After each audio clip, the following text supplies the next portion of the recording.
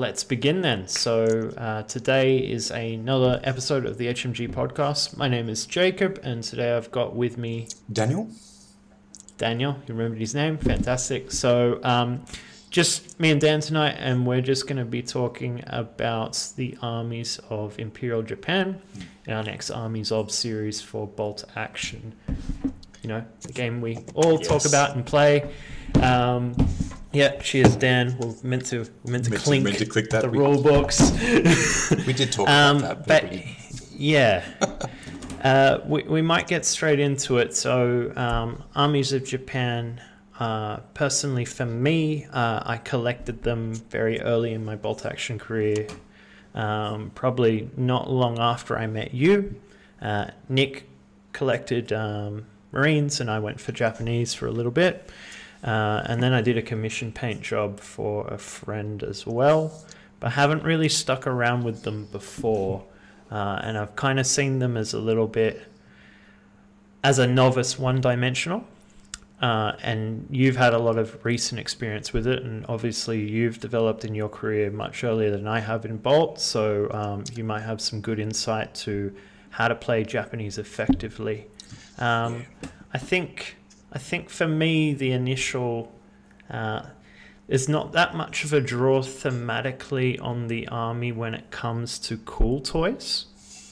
Um, so a lot of the other nations have bigger, more interesting tanks and infantry and that kind of thing, and these really seem to be an early war faction.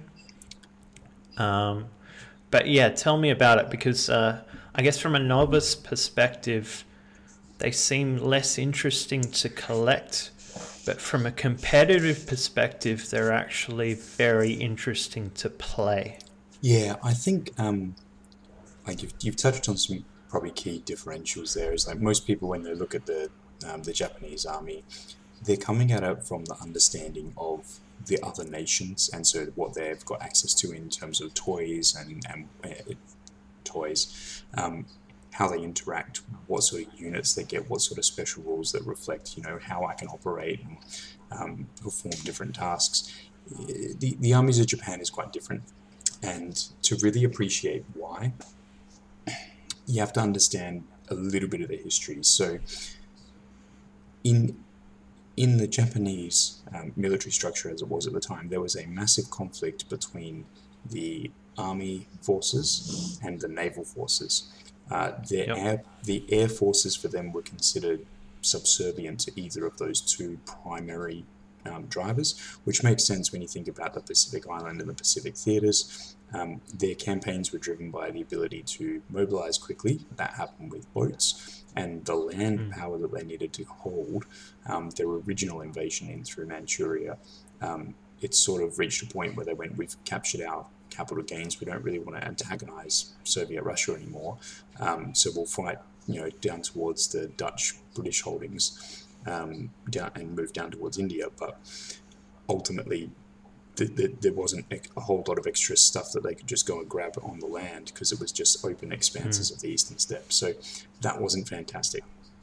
But what it meant is that you had then the land, um, the the army forces saying, "Well, we want material, we want resources, we want stuff to be able to actually develop and fight what we're coming into opposition with," which is, of course, all of the uh, you're getting all of the British uh, and American you know, technological advances and weapon development and armor development that is being moved into their local area, and Japan's simply not ready for it on the land. Because so you look at their their way that they utilized um, tanks and vehicles and mobile armed warfare, and predominantly where they fought, it was jungle Pacific terrain, and they they like you don't there's no you don't fight a tiger, you don't fight a panther because you outflank it, you ignore it, you go past it, you you you know you just you don't worry about it. Maybe not worry about it is a bit of the wrong terminology, but you, you, you don't interact with it the same way. It's guerrilla warfare. It's it's it's sabotaging supply lines so that you strand the troops, and you, and it's it's a little bit more subtle in those respects. And that means, and, and as we get through the lists, we will very quickly see the things that the other armies have that people are attracted to because they're really good. Howling cows, for example, Katyusha multiple rocket Mhm. launchers, useless in the jungles. Like useless in a space Yeah. where it's full of mountain ranges and full of things where it's like you know you can't make effective use of those batteries of weapons because you don't know where the, the enemy is typically to begin with. you've got to go Yeah. find them. Um, you know, there's other ways. And if you're on an island, it's like you've got to get it there, and the rockets can shoot the whole length of the island, and so the range is useless because they can't. Like, it's you run into a whole Mm, bunch of problems. Um, so we'll get into that, but that's that's really the first part that you need to understand with the Japanese forces is that there is some historical context which drives physically what they actually constructed, and that means that they play very different in some respects to other nations. They don't, they can't just rely on um, uh, things like, well, I was going to say Bren carriers, but we'll get to something equivalent for Mm. that. But um, but they, they, you know, jeeps running around with machine guns. Yes, that was something that they sort of did, but it was always very infantry focused. Their entire book Mhm. is driven of going, your infantry are going to be the best infantry in the game, bar none. Like just they are going to Yeah. outrightly be better than everyone else from the get go. So it doesn't matter that you don't have all the tools that they would have, because you're still going to be Mm. typically better in a one on one fight. Um, and that probably Yep. leads us into a perfect place to start, which is uh, the first Army Special Rule for Japan. Yep. Um, So um, go ahead and read the first one, and then we'll, we'll just take turns. And They'll, they'll work. So the first Army Special Rule is Death Before Dishonor.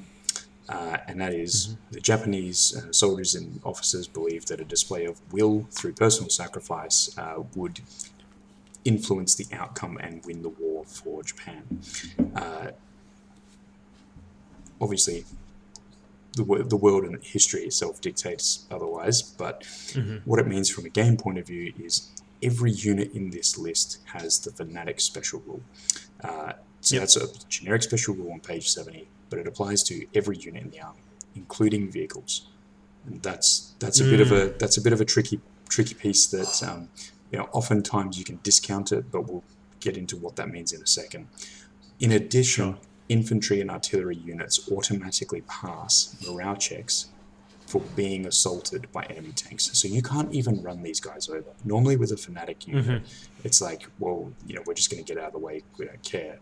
Um, but you could still attempt to run them over, or still attempt to try and maneuver them in some way. Um, whether it's they just go, we just said, oh, we're going to pass that check regardless. We don't, we don't care. We're just going, to we're just going to get out of the way. Yeah. Um, now, artillery pieces still being destroyed as normal. That sort of makes sense. The tank's running over the actual gun piece. Your troops might be, your crew might be fanatic, but the gun piece is metal. Uh, it's it's going to get crushed. Where it makes it, you know, th- that being fanatic in and of itself is massive. That that's a huge. Yeah, yeah, 100%. It's normally a three point per man upgrade on any unit that Mhm. wants to take it, and you're getting it for free across your entire Yeah. army. Army wide. It's yeah. huge. So every man that you take, you're essentially getting an extra three points free, guaranteed. Um, when you consider this rule, does it dictate your unit choices in what you would normally otherwise take in other forces? Like, is artillery less of an option? Um, it's actually, to, to be honest, it, like it, it absolutely does play a part for me to understand, you know, how Yep. I want to play them and, and do I want to get the most out of that fanatic rule while still being flexible. Um, fanatics can also be a, a bit of a two-edged sword, which I'll talk about in, um, in terms of would I take it, you know, do I take extra artillery or do I leave artillery out and try and just get more men? There is a balancing act with that. Um, your artillery pieces are still fanatic, of course, as well. So unless you're so if you've got a, a medium artillery howitzer, for example, medium howitzer artillery base, um, one of the other things that the Japanese forces were able to do is add more crew members onto certain artillery weapons. Mm, So now you're adding more fanatic crew members onto that artillery piece. Like you, you you're not going to kill it. Yeah, it's it's not not going to go anywhere. You're going to have to kill every single model. It makes them more Yeah. survivable. Um, Mm. When it comes to, you know, the disadvantage is because people know that you're fanatic, and because everyone knows that every model in your army is fanatic, you will often find that instead of piecemeal attacks sort of here and there across your entire line, a good opponent is going to go, I'm going to obliterate that unit. I just need to, it's, Yeah, it's not going to take the 50 50, so I just need to obliterate it down to like one or two guys left and then I'll move on. Yeah. So your attrition rate per squad is actually a little bit higher than it would be in a in Mhm. a what I would consider a normal game. Where you sort of you're Yep. willing to trade a few more shots in that opening. Where it's like, nah, it's like every weapon I can is going to hit that squad until it's gone, um, because ultimately that's how you Yep. need to counter the the fanatics. Because flamers don't work anymore. Um, all right. Well, I mean, this this very much uh, has synergy with the next rule, the banzai charge, uh, which can be quite scary. Um, so, if an infantry unit is ordered to run or charge closest enemy unit, an order test to for that move is automatically pass, as if the unit had rolled a double one. What does the that final pass of it part of it mean? If as if it rolled a double one, does that remove pins also? Nah, they did have to put that in the FAQ. Um, so Yeah. double ones typically would be insane courage, and therefore you'd be entitled to Yeah. a free rally order. Um, that's that doesn't happen. Um, what it does Mm-hmm. mean, however, is insane courage is an, essentially an auto pass by Snake Eyes, and so Mm-hmm. irrespective of how many pins that unit has, the situation, any scenario modifier, or whatever, they don't care. They will auto pass. Yeah. They'll drop a pin, and they'll immediately start taking that. You of course do have to Uh, chase the nearest and closest visible enemy. Yeah. Uh, all units uh, must move directly towards the target unit and make contact if possible. Note if the unit ordered to run or charge in another direction, but in that case we'll follow the normal rules for Banzai charge has no effect. Okay.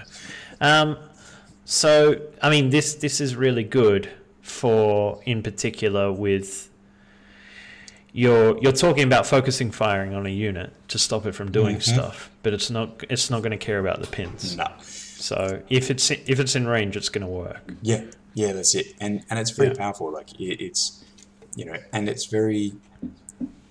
It's whenever an infantry unit is ordered to run, uh, and so you know Mm-hmm. artillery doesn't take banzai charge. You can't banzai charge with artillery. Yep.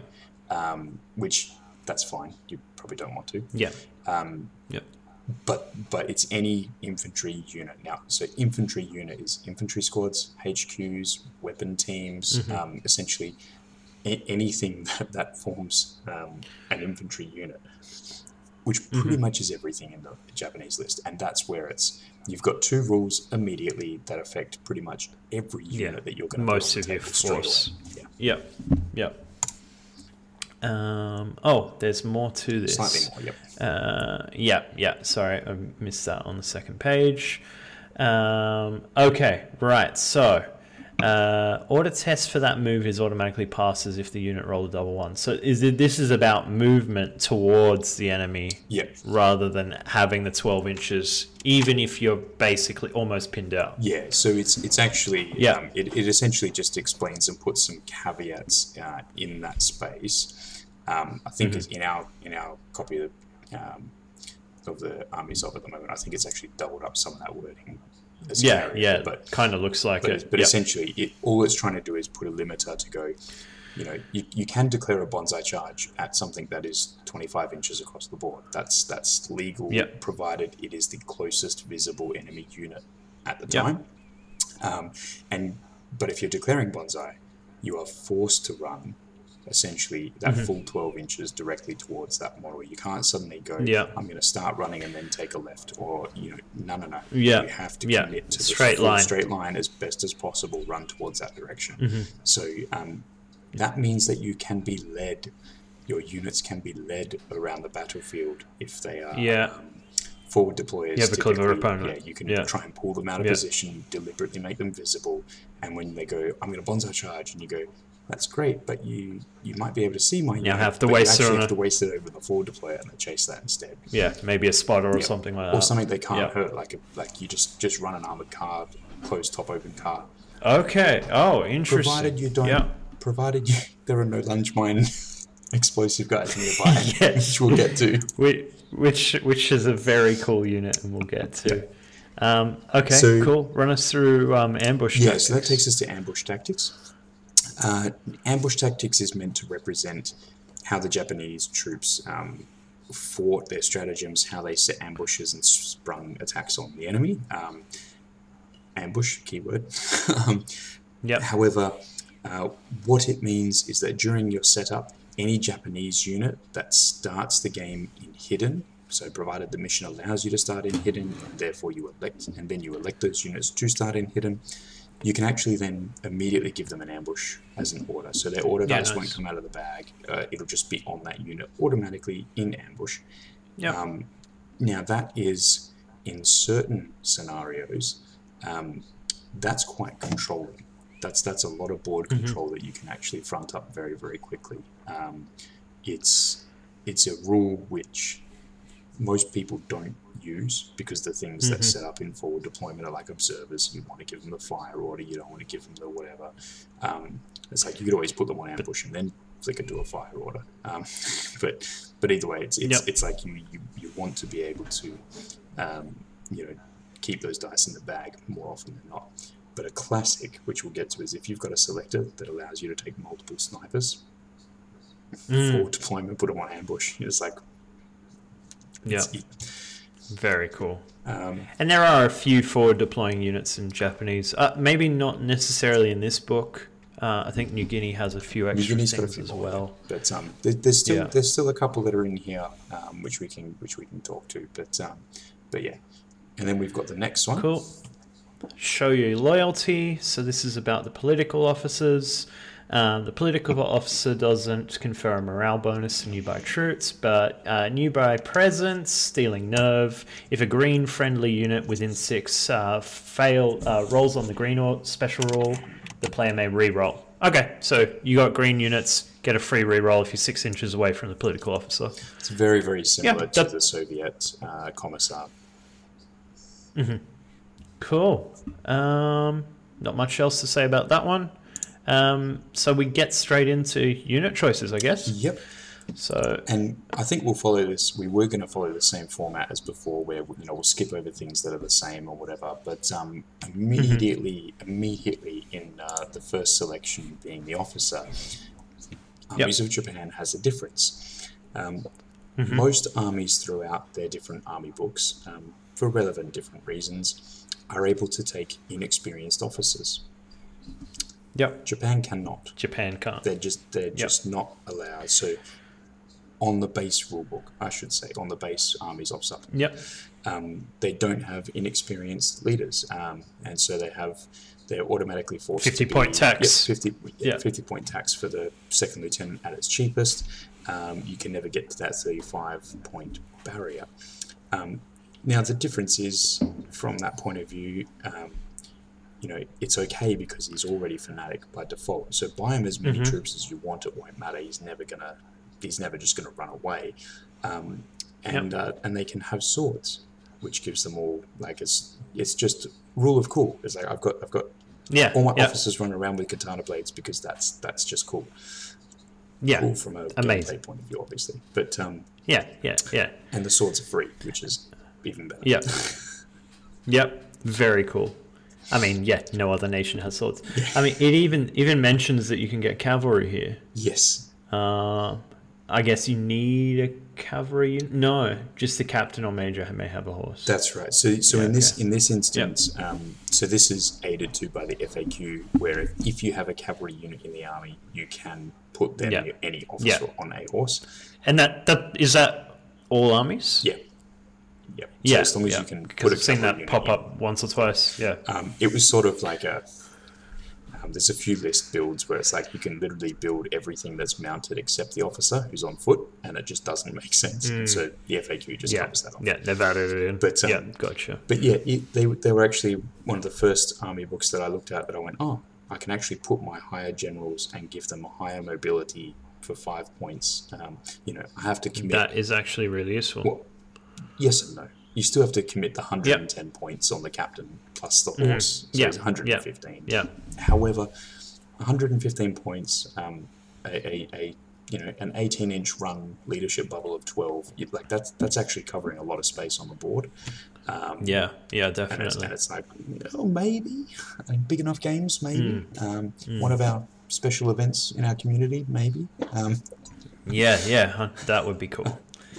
Um, Um, so, so uh, your leader, one man, two man. How do you kind of run him? so typically in the lists that I've been running lately, I run them as one man. Uh, but I'll get into Yep. that's that's a list decision that I've made rather than a standard. My standard is always normally Yeah. one man and an assistant. Um, the Japanese, I probably would go to three men because I don't care about getting shot. Yep. And so it's just it's if Yep. I've got the points, it's an extra guy on the leader team to keep him alive.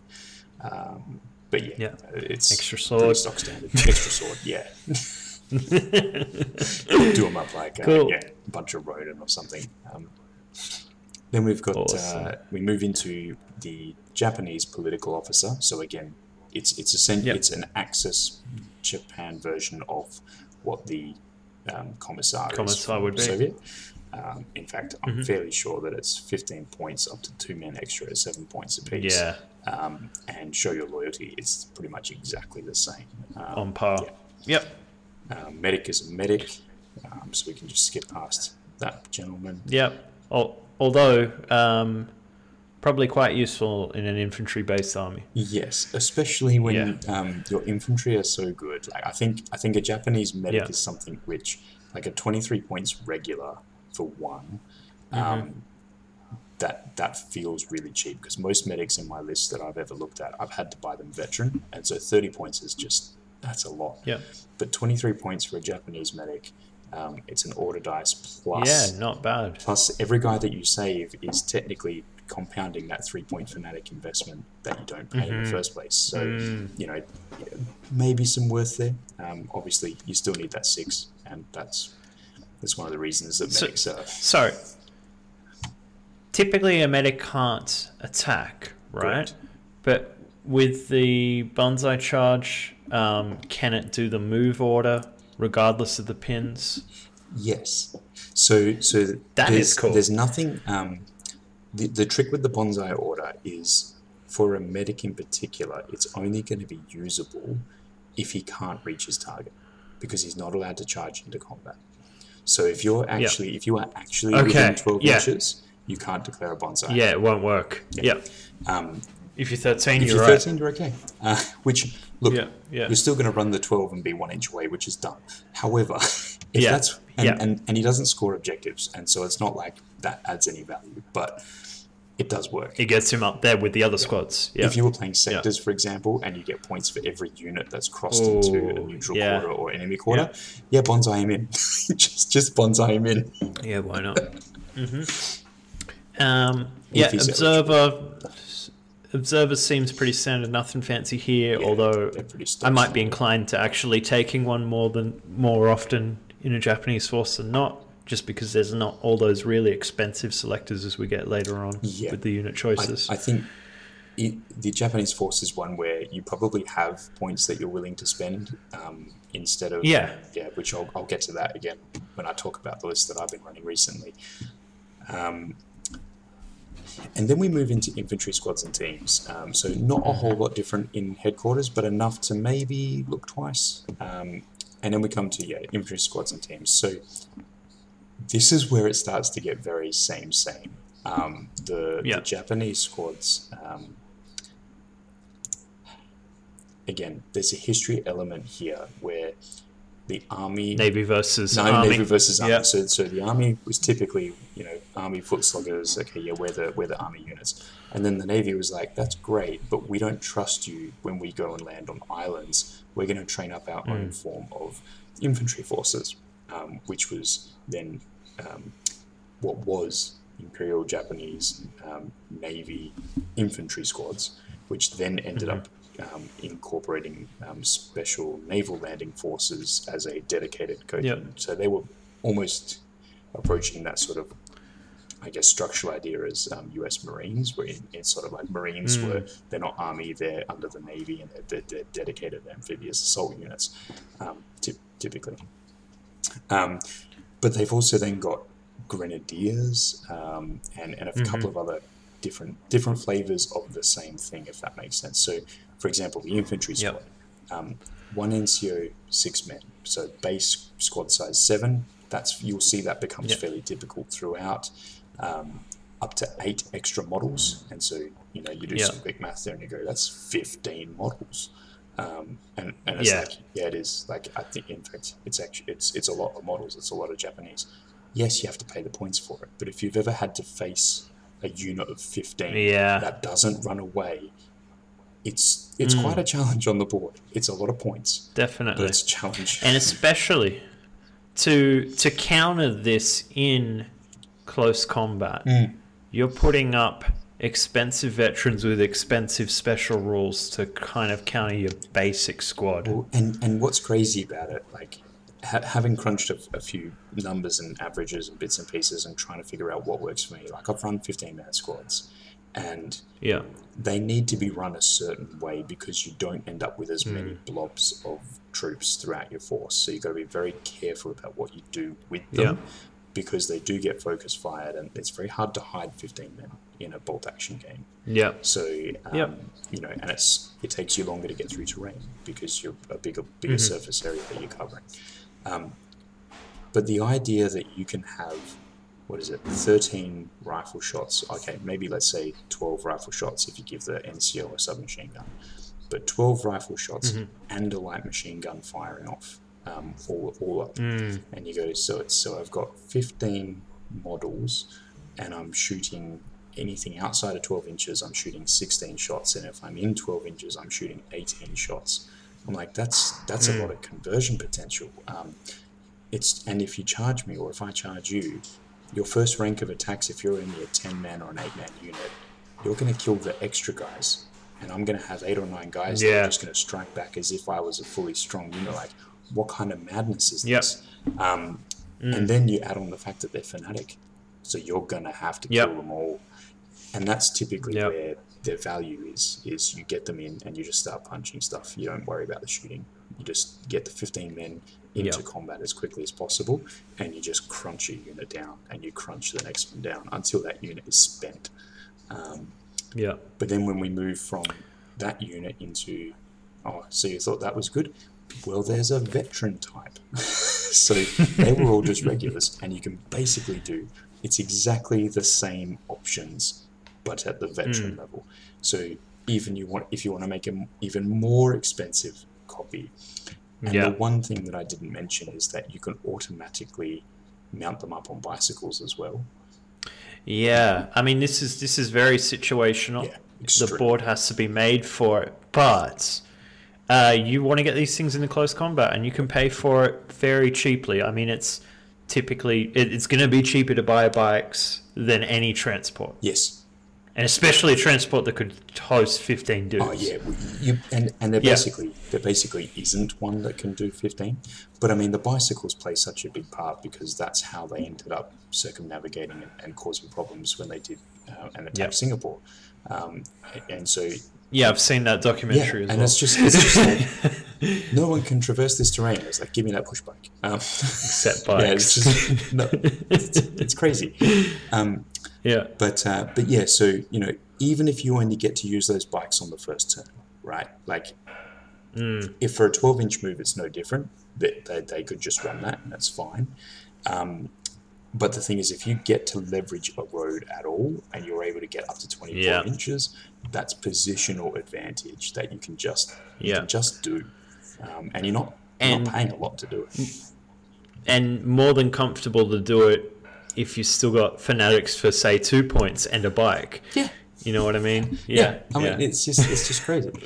Um, yeah So w- once we move past, so that takes care of the what are typically the core Imperial Armies of Japan army units. Um, before we get to the special Yeah. ones um, you were mentioning that you were 15 is is a hard number to commit to Yes. because you tend to lose a squad or two more that you'd like so where's your kind of in your headspace right now where's your kind of magic number just Uh, based on the last couple of games so the the last couple of games um, are a little bit weird. Uh, so so I would actually quite happily run between eight to nine regulars um, with without without even hesitation. Um, I would do my, my typical IJA squad if I was going to buy one.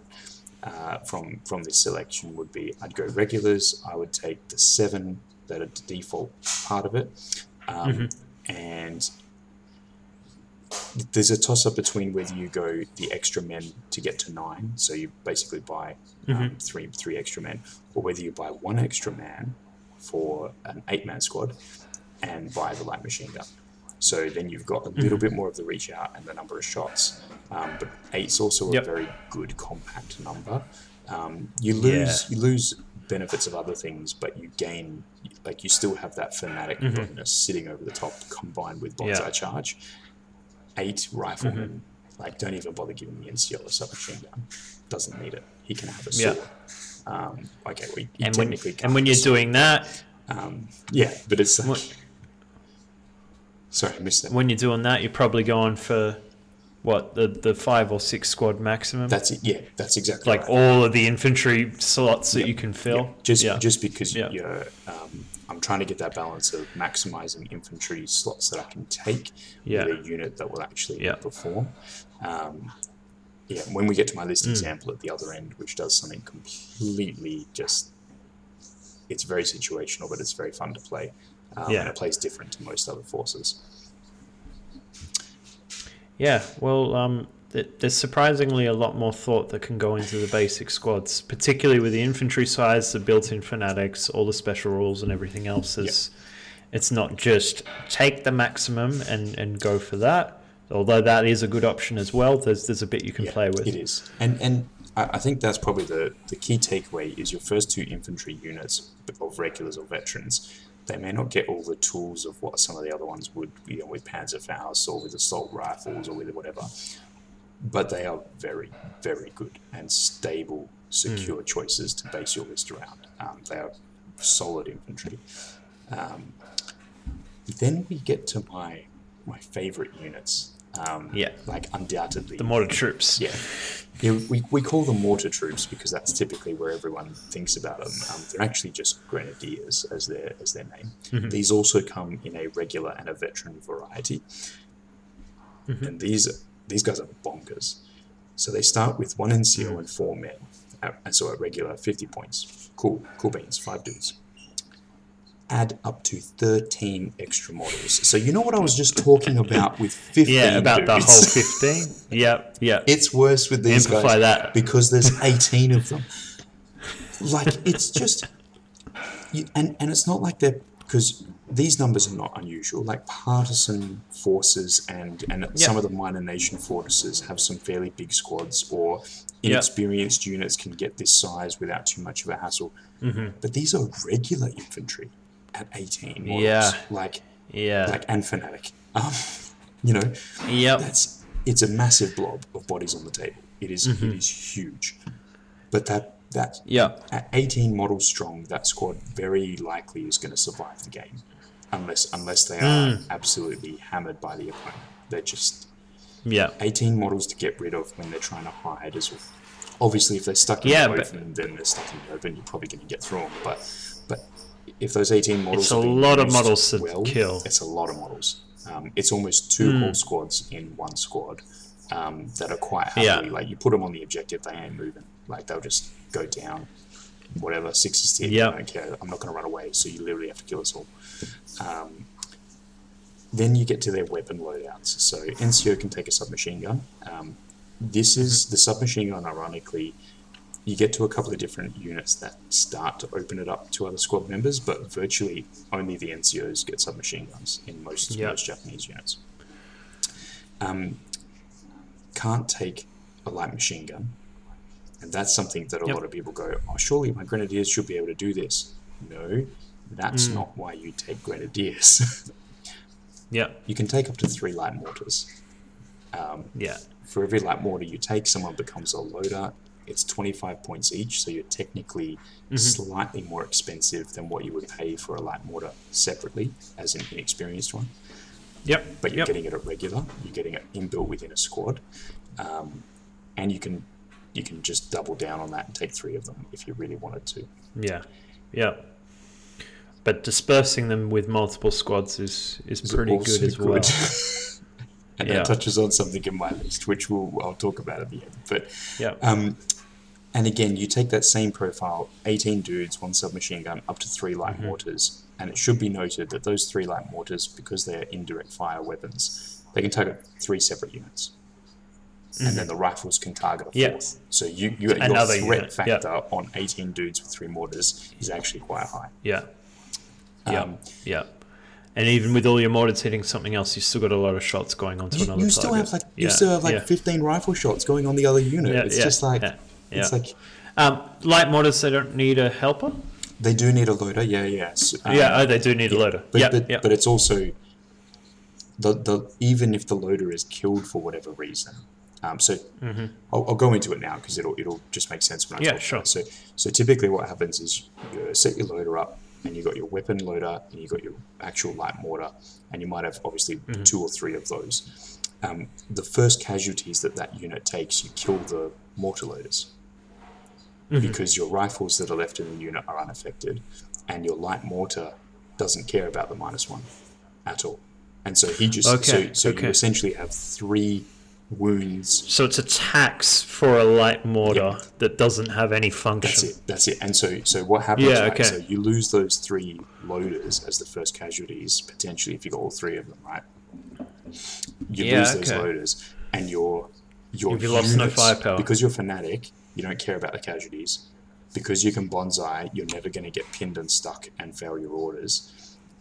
And you turn around and you go, what? What does that actually? What does losing those three models actually cost me? Nothing. My offensive output Wounds. my offensive output Yeah. Mm. is exactly the same. I can still fire all the mortars and just they need sixes. Or, the, or they Yep. range in if I'm standing still and you're standing still. If I fire all my rifles, well, those loaders weren't firing their rifles, so I've, I've literally lost no shots. That means that you need to kill four models before you have any impact on that, that squad. Mm. Like, like that's just. There's no That other squad in the game where you can do that. Where Yeah. you kill four dudes, and then you have impact on the offensive capability. That just doesn't exist. hmm Um, it might exist in something that I've overlooked, but I don't. I don't think it. Yeah, well, not not in standard infantry choices, standard armies, None and come to yeah, mind. again, we're Now you pay for the Um, privilege of doing this. This is like another body armor Sure. comparison, right? Like you pay the, for for that privilege, Hmm. but it's quite effective when used well. Um, Hmm. And of course, as I was saying, you can also get it in the veteran variety. If you know, if being Yep. hard to kill wasn't Yeah. enough, um, you can do it as a veteran. Um, yeah. So I guess the decision is how many of these light mortars do you want in your list, and how many do you want dispersed within individual squads or or bulked up? And even if you want to use Um, this as a tactic, right? So this because it forces your play style a certain amount if you want to get those the use Mm. out of those mortars. Um, but we'll move on and we'll come back to that um, Mm-hmm. in a moment. Yep. So we've got the navy troops next. Yeah, this is where we hit the Navy troops, um, where they've they've now become the uh, Special Naval Landing Force, which is that com- sort of combined. We yeah, Navy wants their own infantry that they can use in amphibious assaults, um, and they actually basically because the Navy had priority on a lot of things politically, they pretty much could take whoever they wanted, the best of the best, and put them into the the naval force. Um, and so it's it's not that necessarily they weren't necessarily commando esque style level. Mm-hmm. They did operate mm-hmm. a little bit like that, but these guys were like, if they were coming against you, it's like they weren't going to run away. They they absolutely could be trusted to mm. get the objectives done. Um, they they were not. Uh, yeah, they, they were not inexperienced by any stretch of the imagination. Very, mm-hmm. very capable. These are the assault troops. Very capable. Yeah. Um, now, part of these, as we get into the rest of um, the other units, is we now get into um, uh, what are known as dual weapon squads. Um, as a footnote of those, and typically what happens is in the the structure of the army changed because they were trying to consolidate and create more effective attacking um, units and threats. So dual weapon platoons were then started to be picked up, and so that was taking essentially one type of formation and then putting other pieces into that um, to try and make it a bit more um, robust. Versatile. Yeah. Which means that you can Yeah. then, in your regular squads, if you have grenadiers in your force, um, it essentially allows you to upgrade your other infantry squads to take light mortars in their squads. Ooh. Most people don't do it because it becomes very cost prohibitive very, very quickly. Yeah. Yeah. But what you essentially are then able to do is turn all your regular infantry squads into smaller grenadier squads with a light machine gun and a light mortar. Mm. And and and you just it, it, it like Gorcin complains about rifle grenades, and this is sort of one of the reasons, anecdotally, probably why is because Japan can Why they basically go, "I'm just going to do it, and I'm just going to put light Yeah. mortars everywhere." Um, Mm. And what can you do about it? Not much. Um, play a play Yeah. a smaller point limit so that they're not allowed to do it is probably the best the best thing. Um, anyway, so moving forward to the special le- special naval landing force. Um, Yep. These guys have to be veteran. Um, it's one NCO and 4 Mhm. men. They can only take up to an extra seven, which is still 12 models. It's like that's 12 fanatic models. Um, this time, the NCO and one other person can take a submachine gun. It's the first time We got two. it's the first time that one of the units you encounter is actually able to get more than one submachine gun. Uh, you can still take the uh, the light machine gun, and then it's like, what else have we got? What else makes them special? What special rules have they got? None at all. Um, It's just a it's just a compact veteran squad um, with a couple of extra submachine guns. So from a list building point of view, I'm not surprised that we don't see many of these as a competitive level because there's not a lot of meat on the bones to actually dig under it. But of course, they, um, seeing how effective it was within the army, the Special Naval Landing Force went, Grenadiers, well, we got a bunch of people trained to be Grenadiers already that we poached from the army, so um, well, let's just make them a Grenadier squad. So if you want Yep. veteran uh, Grenadiers from Special Naval Landing Force, you can have that flavor too. Um, same options as uh, the previous one, with the exception of that one extra submachine gun. And this is where historically the Navy is leveraging to go. Well, we've got a lot of close quarter fighting because we hit the beach. Well, we want submachine Yeah, guns. give us more Army doesn't get them. We Yeah. want them, and so they were trying to put them Yeah. in. Then we start moving into a few other different types of units, um, and these ones, like we've sort of passed all the standard stuff, and now they're just these are thematic ones that pop up tied to the theater selectors and how Japan and their war that they were fighting, how it essentially developed, and the different types of units that were created due to desperation. Is essentially the way that this tracks. The further along you go, the more desperate they become, the different unit types that we get. Yep. So we're not quite at that point, at that break point just yet. Um, the first one was we actually have the I, the Imperial Army of Japan coming back now. They actually have the Yep. Teishin uh, Shudan. I've probably butchered that. I apologize. Paratrooper Sure. squad, The Paris. and um, these are Japanese paratroopers. Um, interestingly enough, the paratroopers were not an army-only component, uh, which we'll see in a second. They essentially, like in all things, um, army and navy were competing. Uh, they they had a couple of drops, and they had some really bad casualties, um, and so it was sort of the the one way that like they were trying to get them in and they were like if this works it gets the imperial army of japan back in high esteem allows us to maybe mm-hmm. leverage things a little bit more politically. But it was very, very like most paratrooper things when they get started very costly in equipment and lives and, Yeah. and the benefit the realization of the benefit wasn't necessarily what was forecast. So mm. veteran infantry five guys all equipped with rifles standard can, can go up to an extra five for the 12. Um, then, if you take them as the special naval landing force instead, you can go up to an extra seven. And so there's a slight bigger force on the special naval landing force um, Navy side again. Now, three guys can have a submachine gun, which is nice.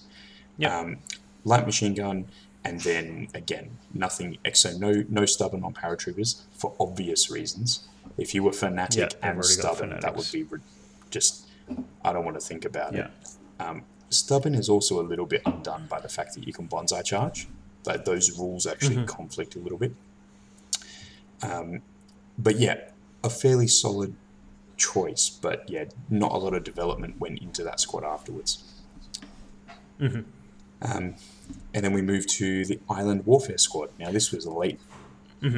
So, at the late war, this is where everybody is now talking um, uh, essentially the war's starting to wrap up in this Pacific. America's mobilized. They're coming across. They're starting to hit the different islands. Japan adopts a defensive strategy for their for their land forces. Um, uh, or more specifically, they do defensive strategy for their islands whilst they pushed on Yep. land um, to try and create um, a drive into China. Um, regular infantry, an NCO, and three men. It's one of the only sort of infantry section squads that I've ever seen that is only four man minimum. has four man. Yep. Yeah. Very, Yeah. very interesting um, space. Very limited options, uh, and they actually they only allowed up to an extra four men. So these guys are max squad size at eight. Um, you can't Yeah. actually make these guys bigger than that. Um, they're a thematic choice because they have absolutely no special rules. Um, And they are often they are often outshone by the very next entry, which I'll let you do the honors of reading, Jacob. Oh, gee. The bamboo spear fighters. So, well known across all discussion places, all bolt action. Um, people fear the bamboo spearmen, and that's in particular with all of the special rules that we've already mentioned. Um, and now you can get 15 dudes. Your dudes cost five points each. So you're making quite big squads for an army that's already great at, at close combat uh, and you're not really paying anything for it. I mean, they're inexperienced, so you're paying two points less per dude for a guy who can't shoot. But he's got a really pointy stick. Yes, definitely. Um, they're green. Yeah. Okay, that's good. So Well- yeah, you might want to sneak in that political officer if you can. Is it good that they're green though? Think about it. So let's say they go for their green test, Okay. right? Let's say they Yeah. fail their green test. So that that Yeah. either means that you're going to um, you're going to either stay inexperienced, you're going to level up Mm-hmm. and become regular. That's horrifying. Yep. Uh, yes. um, or they're going to run away and go down and, and essentially be, be pinned for the turn. Mm-hmm. Banzai under like your worst result is that they run away or go down, right? Banzai, Yeah. banzai reverts that and makes that a null problem. Mm. So your only real drawback is if they stay inexperienced. Which they already, They're already are. they're already experienced. You bought them that way, and they're still better because Yeah. they were five points each. Um, so the fear, like I have not played them, and the fear that people that I see and whatever is people saying, "Hey, there's a hundred models on this table" and whatever else. Um, but I'd be interested to see how they play in, in small amounts because I, I've been using a few units just to, to bulk up my dice count in my German list at the moment. Yeah. And I, I, I like having a, a squad of shirkers or a 20 point LMG team. Um, it's it's actually quite useful. I, I wouldn't mind trying these guys in the five man variant or just even slightly above that. Um, I think there's they're they're an expensive model to get though because they're all metals.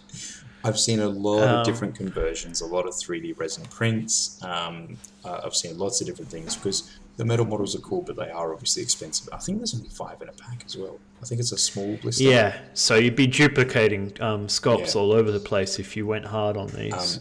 Um, But but I mean, all that being said, um, the theatre selectors, for example, in this book, right at the very Hmm. end, they when they first get introduced, there is zero to one limited choice, and then Okay. for every selector after that particular one, they become a zero to two choice where they can where they've Mm-hmm. picked it up or whatever. So from a theatre selector point of view, they've actually limited them because they they recognise Yeah. that that more than two of these is probably um, treading the, the grounds of friendship and and, uh, and a precipice of just we don't talk to that person anymore. Um, but the the reality is your idea, for example, of I just want to get a cheap order dice in, and 25 points feels like Yeah. a sensible investment to just put a unit on the Yeah. board. Um, that's also completely viable for, for the Japanese player. Completely viable. And if people give you a hard time for running five bamboo spearmen, your opponent needs to rethink how they're taking on your list because five inexperienced guys Yes, they're fanatic. Yes, they're spearmen. Yes, they're, they're green and all that other stuff. It's five dudes. Like, that's it. Yeah. If- If you yeah, can't deal with yeah. one unit of five dudes or even two units of five dudes, you, you Yeah. don't understand how to play bolt action at that point. If Mm. that, if, it, that's, you shouldn't be afraid of Yeah. models in two units of five. That just shouldn't I, happen. I could I could see these being a decent threat at the low model count Oh, yeah. though, um, especially when we get later because like we've got the anti tank um, slot dudes that are running with the with the Yeah, mine, coming soon. uh, bundling them with this. With your actual deadly squads that have mortars and things, there are some cool options here. and and this this is where like on the surface because we're, we're almost through the the, um, the, Yeah. the unit selections and stuff but but on the surface it looks like there's nothing there. I can't get a full squad of submachine guns. It doesn't exist. I can't Yeah. get anything Yeah. with assault rifles or semi-automatic um, bar assault weapons or anything. It doesn't exist. There are no panzerfausts there are no um, what's what's uh, there's no there's no bazooka or panzerschreck equivalent. Like that that they actually don't have a launcher equivalent.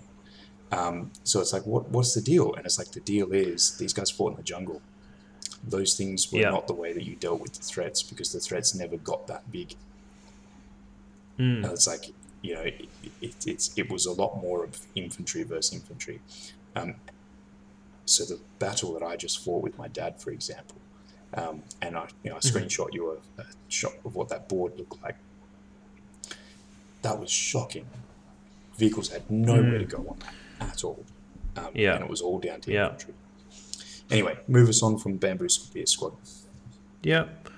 Uh, so we got militia, inexperienced squad, 35 points, five dudes, can bring another 10, seven points each. Green. Yeah, I, I, I like that. Yep. I mean, equivalent to a Soviet in, inexperienced squad. Obviously, you can take a few more dudes. just a few Uh, and that that's that's really yeah. I mean, I think Soviets can take twelve. Um, yeah, which is good. But yeah, I mean, there's just not many nations that can take above twelve. Twelve seems like a luxury for a German player. Um, even for and I, I I've moved I've moved to eight for the most part for most of what I do. And like you, you Um, imagine your eight guys suddenly being swarmed by fourteen that are fanatic, and you just Yeah, like, uh, yeah. I don't. You can't I do don't anything know. about it. Yeah, yeah, definitely. Um, cool. So we've got the militia, and then we move on to some of our standard options. So we've got an MMG. Yep, MMG. Nothing special no, there. Stocks. I will note there's no But- heavy machine gun command pack option at Yep. all. Um, so it's just a medium machine gun. Um, Um, but yeah, I might actually consider taking it because there's not like yeah, there are some LMGs scattered throughout, but I guess range is, is a is Yes. a problem, and doing stuff while you're trying to move large blobs of infantry around Yep. wouldn't be wouldn't be uh, all that bad to put throw a pin or two out. Yep. Um, anti tank rifle team, um, yeah, standard of, of what you'd normally have. Uh, but yeah, we get we get the fancy one here, the suicide AT Mm. team. so there, there is a. um, 14 points for inexperience. these are- oh my god. Yeah, so the suicide anti-tank team. So these these are typically the lunge mine guys, the ones with magnetic mines Yep. that um, the sort of conical Yeah. shapes with points on the end. Um, when you look at the models, um, basically shape charge that's on a bamboo stick, and they ran at the tank and shoved it in. Sometimes they would survive. Yeah. Most of the time they would not. Um, so Hmm. people go, "Oh, why are you getting veteran?" They're going bang. They go bang in the game. In real life, they actually sort of the long pole was so they could Yeah, they would have they would have chucked it and the ran went Yeah. away.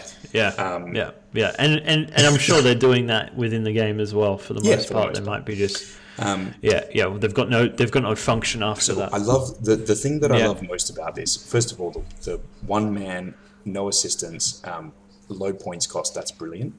The kamikaze Mm. just describes how they explode when they charge a vehicle. Importantly, Mm-hmm. if they charge an infantry model, they do not explode. They fire as a normal infantry Mm-hmm. model. And norm- Um, Yeah. However, I love the weapon line. The weapon line's one lunge mine, or an artillery shell, or a satchel charge, or a magnetic mine, or something similar. Like it's it's any heavy ordnance that you could carry. Um, like it's just It's just Yeah. hilarious. Like Just make it explode. you could have just said So, improvised plu- explosion, and that would have been sufficient. You know. Um, plus eight pen value on Yeah. this thing. That's that's quite fierce. I mean, uh, what what's what's a Panzerfaust six? Yeah. A bazooka's six. A Piat is five. Mm. And and and it's Uh, and and like those things are at range, and so when they're firing at long range, Yep. some of them, not all of them, but some of them drop their modifier as well. This is just straight A pen, no Yep. other modifiers, just bam, and and guaranteed if you're in range, pretty much. you're not rolling No, for it's it. just yeah, Yeah, You yeah, get up, and as long as you range, as long as you're in range to get the the charge off, then you roll straight for penetration. Like it's it's it's Yep. it, it's why they're popular as well.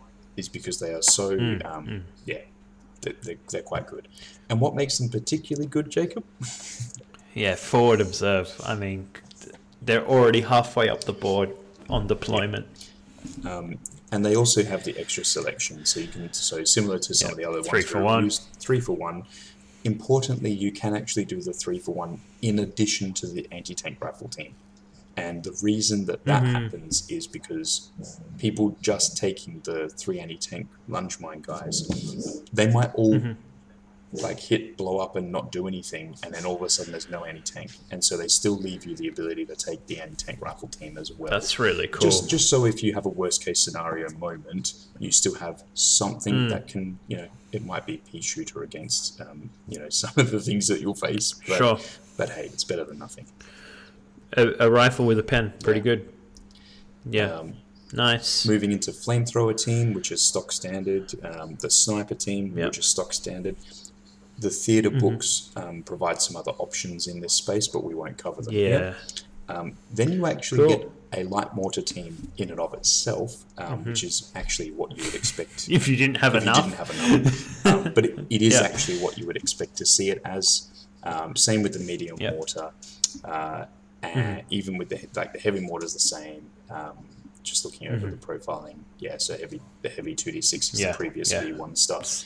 Um, Yeah, same point, point Yep. price point for every other nation. Um, I, I might be inclined to take in a heavy just for the extra pen. and you're gonna, you're probably gonna have the points, right? That's the thing. Like, and Yeah. like you take the heavy mortar with the four crew. It's like it's it's still fanatic. And like, so if your Mm. opponent wants to take it out, it's like, well, you're gonna you're gonna have to kill them all because I'm not gonna run away. Yeah. And because it's a mortar, I'm like, I don't care about modifiers. I'm just gonna start ranging in. Like, so you're gonna have to Yeah. kill it, um, and then you hide it, of course. Um, Mm.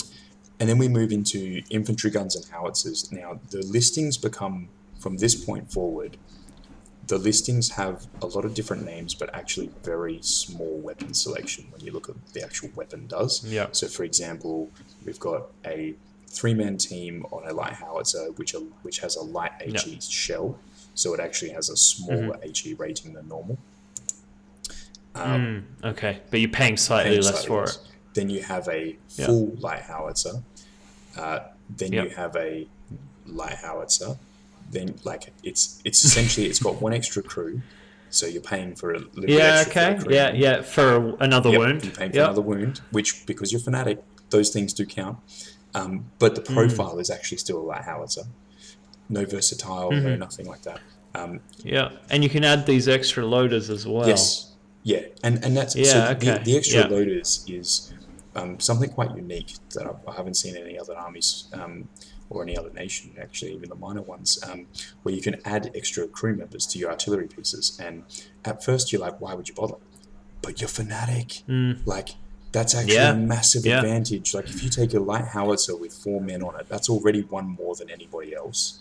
mm, You're not paying many Mm. points more to put it on, and then you got to buy Yeah. two loaders. But look at the cost, plus 5 they're points. five points each. So it's not even a full Yeah, yeah. ten point for a man. Yeah, ten men, You get, you're, you're yeah, getting two for one. And you've got Fanatic on top, and it's like so suddenly I've got a six man light howitzer team. I'm going to fire this all game, all Mm-hmm. Yeah, game. yeah, and they And these are very much staples in most armies. Giving them extra wounds for not all that much points is, is a really good option, especially when you're advancing everything straight forward as much as possible. They're not going to be shooting elsewhere. at your guns, right? Um, yeah, yeah, yeah, yeah, it's very yeah. good. Um, the 105 field gun, um, so that's that's a medium howitzer, which typically has a six crew of four uh, or three, and this starts with a crew of six. Like, Yeah, and and for how many points at regular? 85. yeah, 85. Six. So what's a medium normally? Me- like 65, It's- it's like- 70, something like that? It's like yeah. medium howitzer is not that you know. It's like maybe sort of Yeah. 60ish, 70ish points is where I would have put it normally. Yeah. And it's like for only Yeah. 85 points, I get six fanatic crew. yeah, Like, wow. like it's just That's amazing. now the one thing, the one thing that I would note is obviously um, as you move up the scale towards making them veteran, that becomes quite point heavy very quickly. Like if you want to make Mm-hmm. a 105 field gun as veteran, it is 100 points, 102 points. Um, but you know, it's 102 Yeah, but fanatic veterans that now are never leaving that gun. and the comparison to what you have in other armies. Yes. To get a seven point crew flak 88, what's that, like 180 points or something crazy like that? I'm sure the gun is so a bit it's- scarier, but, but Sure, it's but not fanatic. the survivability. Yeah, it's not yeah. fanatic. Yeah, that that that that's fantastic. Yeah, at at a glance, not not reading into this and, and looking at the extra men that you can get in there, you, you just gloss Yeah, over you go, it "Why would because I- it's what all the other would I- armies have as Why well, would I right? add more loaders? That's pointless. Why? Uh, maybe Yeah. not. Um, Yeah. Type 4 Heavy Howitzer is the next one off the rank, um, which is moving Hmm. towards your larger gun profiles. It's actually it actually caps out their um, their gun profiling. So again, five men, 115 points, heavy howitzer, and you can I'd, add oh. I'd pay the extra 15 points for three like- more I dudes. like, I'm going to pay 15 extra points and the spotter. I'll make it 25 extra points. Um, and then you go Sure. like, for like 140 I'll take one light mortar out. Yeah, yeah, yeah. And it's like 140 points, and I have a heavy howitzer with a spotter and eight crew that are all for now. that is amazing. I'm like, Why wouldn't you? well, the reason that you typically don't is because at this point you are starting to encroach on the spend of points and Yeah. where they go. But I mean, Yeah. I mean, for 140 Yeah. points, it's that's really hard to, to I like it's that. really hard to go Yeah. past. Um, then you move into some AA, AA guns. guns. Yep. So you got a regular 20 mil cannon, which this is fairly typical. One one Yep. auto cannon. Yeah. Um, also, as you move out of the howitzer space, you start dropping off those additional crew members. So now you're back to regular Mm. Yeah, okay. allocations of crew. Yeah. But this is tough because you might need an anti tank gun. Strangely enough, yes, you may, because Yeah. you don't actually have a lot of other things that are running around. Um, you know, uh, well, actually, that's not true. You do have a lot of things running around. You don't have a lot of other big yes. guns. Um, so, the,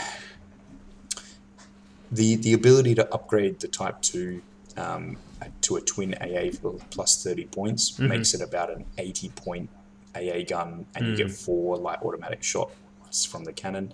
That's not horrid. It's four HE, uh, Yeah. four anti tank profile shots at you know. Okay, sure, it's only like plus two or whatever, but it's it's Yep, still yep. that's still four shots as opposed Yeah. to one single HE shot and one single Mm, um, anti tank shot. And then again, yeah, this this is tough to It's hard. choose.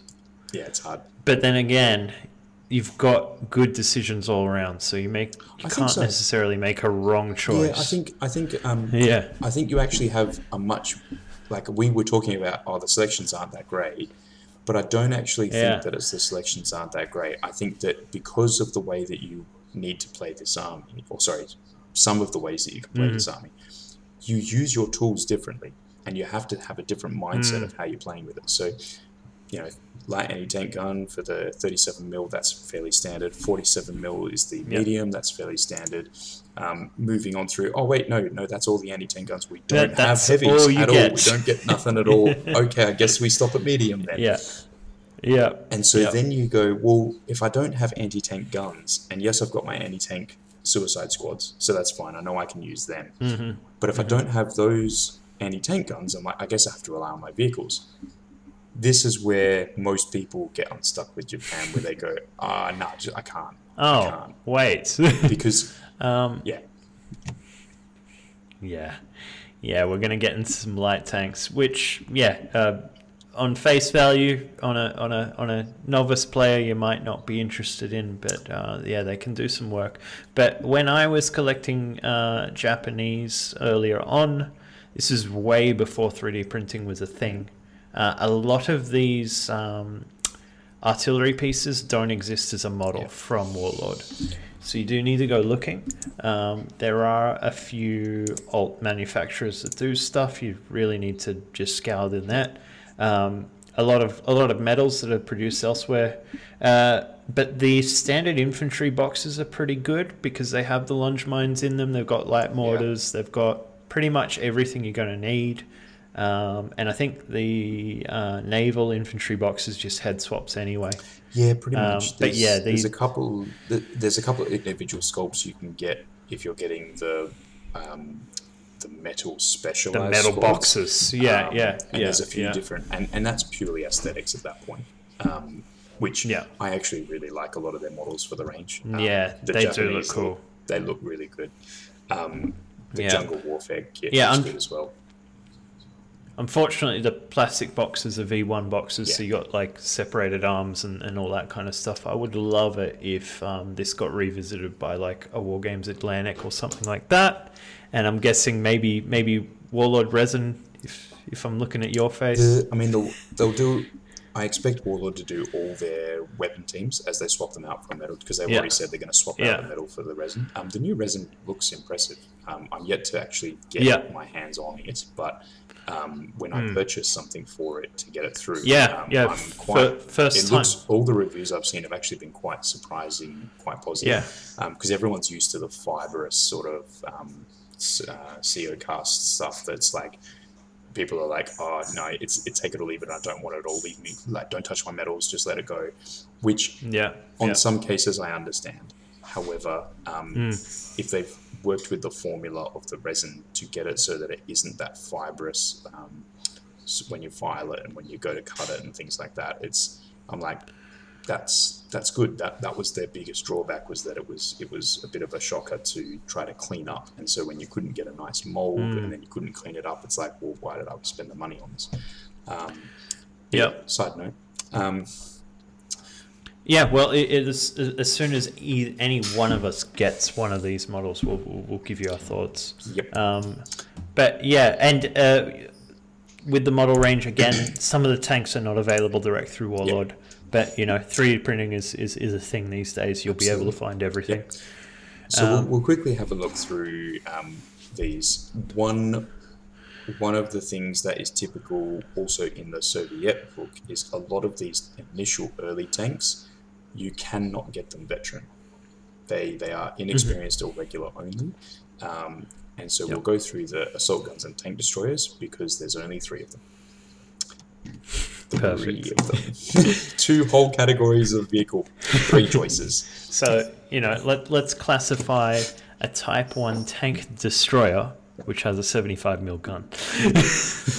um, okay, so 124 of these manufactured.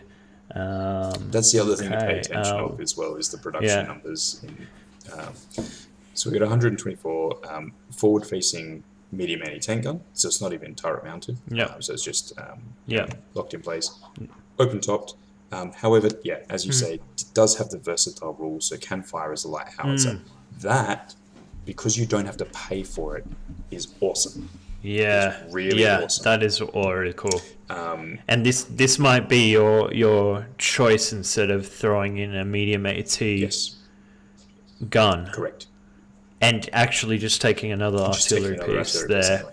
Yeah, and then this is versatile as it Yeah. is.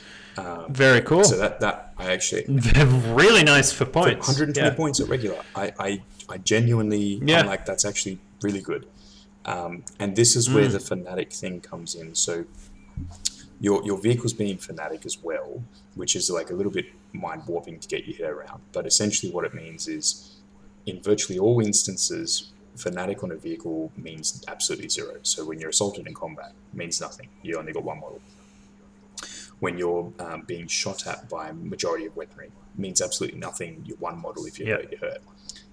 When you're hit by a flamethrower, however, if you survive Oh. the flamethrower attack, you do not have Yep. to take the flame test. You're immune. Yeah. Your auto Okay. pass. Technically, you take the test, but your auto pass on double one. Yeah. yeah. Okay. Wow. That is Yeah. something. Yeah. Yeah. Um, now that that so that all the Japanese vehicles have that in their little back pocket, yeah. including the trucks. Which look, if you if you mess up killing a truck with a flamethrower, Yeah. and I I don't need to take the test, it's like you deserve the humiliation that you feel. No, no, that's wrong. That's wrong. Mm-hmm. If you have the unfortunate instance of not killing a truck, um, don't tell them to take the flamer test as well, because Mm-hmm. because it won't happen. Um, they're just not going to do it. Yep. Um, Very cool. the Ho Ni Type 3 tank Ni. destroyer. Mm-hmm. Um, 30 to 40 made, 44 to 45. So this is late war. Yep. not Uh, so a late war gun is a medium AT, case mounted, but it is 8 plus. a light tank. Yep, 8 plus light tank. Um, you lose the open top. I mean, for 140 pound, uh, 140 points, I'm kind of like, yeah. I'm getting, if I'm only getting a medium anti tank gun and slightly better on the armor, um, that's nice, but is open topped Yeah. and firing as a light howitzer better for 20 points less? Yes. Like, you know, It is. yeah, Definitely it's is. got to be right. Yeah. Yeah. And then we get to Yeah. one of the. uh, Are you right? Do you need to check anything? No, no, I can, I can, I can see this. uh, hurrah! Assault Yes. gun, twenty-five made during the defense of the Philippines in forty-five. I think they must have just kit bashed this thing together during that battle. This is Um, a. Um, so you, you know how everyone goes. Oh, there were there were only you know so many um, Puma tanks or Puma armored cars around us. Blah blah blah. They shouldn't have been Yeah, in every army. yeah. That's this is like a hundred of them. This is yeah. Th- this is basically what the, the Japanese Ho-Ro is, right? So it's like we built built Yeah. twenty five. So so what I want you to focus on is built. that doesn't mean that they all fought. it went to battle. Um, so 155 points for regular for a forward-facing heavy howitzer. Um, Impossible. Can't find it anywhere else. I mean, Definitely can't. A heavy howitzer. no way- I mean, it's typically. I mean, it's- typically on a armor nine That's vehicle. right. So, So you're you- already, obviously you're, already- paying more yeah, for you're already that. dropping that. And typically, most of those heavy howitzers are also going to be enclosed rather than open topped. So, so you do Hmm. you do have two massive drawbacks. One, you're you're just slightly higher Sure. than paper thin, and you're open topped, so you're susceptible to being pinned down and stuff. The difference is you're only paying 155 points, or if you want to be a real jerk and higher inexperienced, 124. Yeah. Yeah. One, you're going to I have mean- the range, so there's no point moving. Yeah. Yeah. I mean, you're going to go 50 Yeah, 50 so. inexperienced after setting up, and all you do is, I want protection. Oh. Okay, we'll put 15 Japanese troops in front of it. There you go. There's your protection. Look, if I if, if I was building a list, not looking at the rest, I would roll a dice. One to three, I'm going for the type one. Four to six, I'm going for the type four. I mean, they're both amazing. They're, gr- they're great. These these these these are awesome. You know what? You know what's crazy though is like, so let's look at. Okay, so the Type One we talked about was good value, and it's 120 points. For Yeah. literally 35 points more on the I same know. chassis, you take out the medium anti-tank gun and you put in a heavy howitzer. It's amazing. My Russians are jealous. Like genuinely, I I thought I had everything I ever wanted in my Soviet force, and I look at that and I go, no, But yeah, like the bigger nations, you're looking at like almost 300 points for a heavy howitzer in a vehicle that can move. you can probably pick up. Obviously, they have the armor, Yeah, but you can probably between still. 200 to 300 is where I would expect those normally to come in.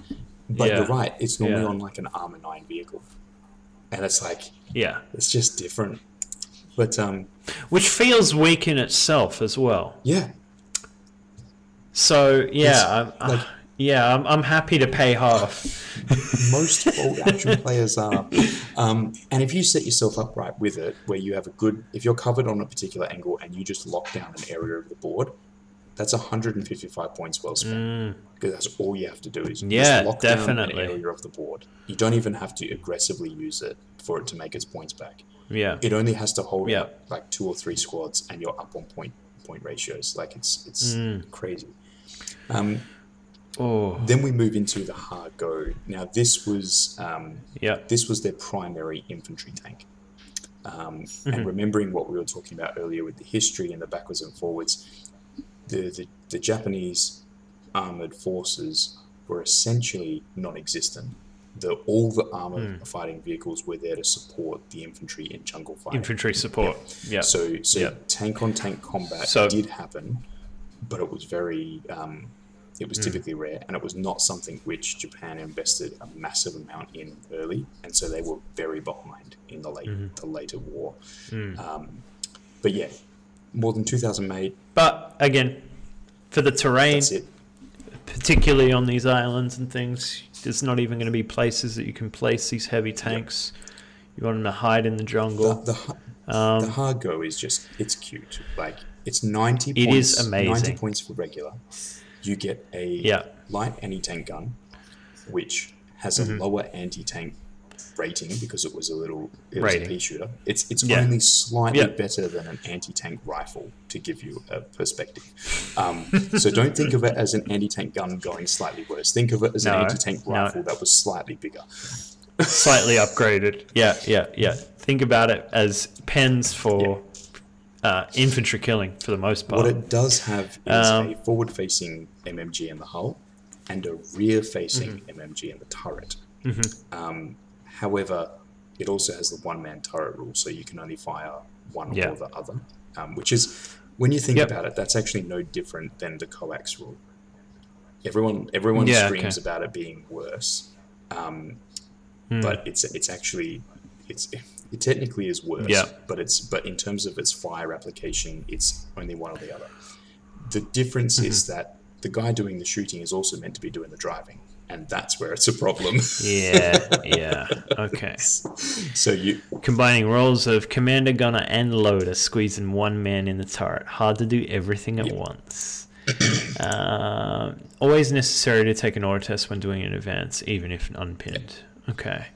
Uh, fire main gun or rear mounted, not both at the same time. Yeah, okay. But 90 points. well, that's it, right? It's cheap. yeah. And it's a really cool model. It, it is a, like it's um, like Yeah. and I'm using the, the cute definition. I'm using the ugly but interesting uh, definition of Yeah. because Gorch would Well- have a heart attack if we thought that it was actually uh, the pinnacle of, uh, of of armored design. But um, they also have some really interesting camo. I, I painted a couple of these, and they- got some they got some bright oranges in there. They got this this weird crisscross pattern that goes over the top. All of the tanks Yep. do. Uh, it's just really unique, um, tricky to paint as well. Yeah, a lot trickier. Um, but- having having just painted Yeah, a bunch yeah. for myself, I was like, I'm just gonna like do some swappers Yeah. on here. Like that looks horrible, and I'm like, that looks nothing like what I was trying Yeah. to do. Squiggles are hard. Yeah, they are. um, but yeah, so far I'm, I'm I'm a fan of the TDs so far. Let's let's have a look at what else we got. Um, we got the Type 98, another light tank. 104 of these made, 42 to 44. Um, this is a regular light tank with a light AT and a coax MMG. Doesn't have any of the one turret stuff, so you're paying, you know, and another 25 points to get rid of the yeah, turret. and and get plus Um, one armor rating. So yeah, you yeah, lose okay. you lose a machine gun. Yeah. Uh, you get a coax MMG. Um, you get a plus one armor rating, and then but you lose one man turret, which means that technically you should be getting a more reliable um, vehicle. Mm-hmm. Yep. Um, and then yeah, low velocity, just like the last tank. Then we got the Type Two, the Keto light tank. Twenty nine of these made, nineteen forty four. Um, what do we got? In it, regular one twenty five light anti tank, and So yeah, light tank this- with an MMG. So this this, one loses the low velocity. So, so this is where they started realizing, oh, we need to actually give better guns to our tanks. Now, bearing in mind, this is about 1944 where they started rolling that out into production. Mm-hmm. Yeah, okay. very late.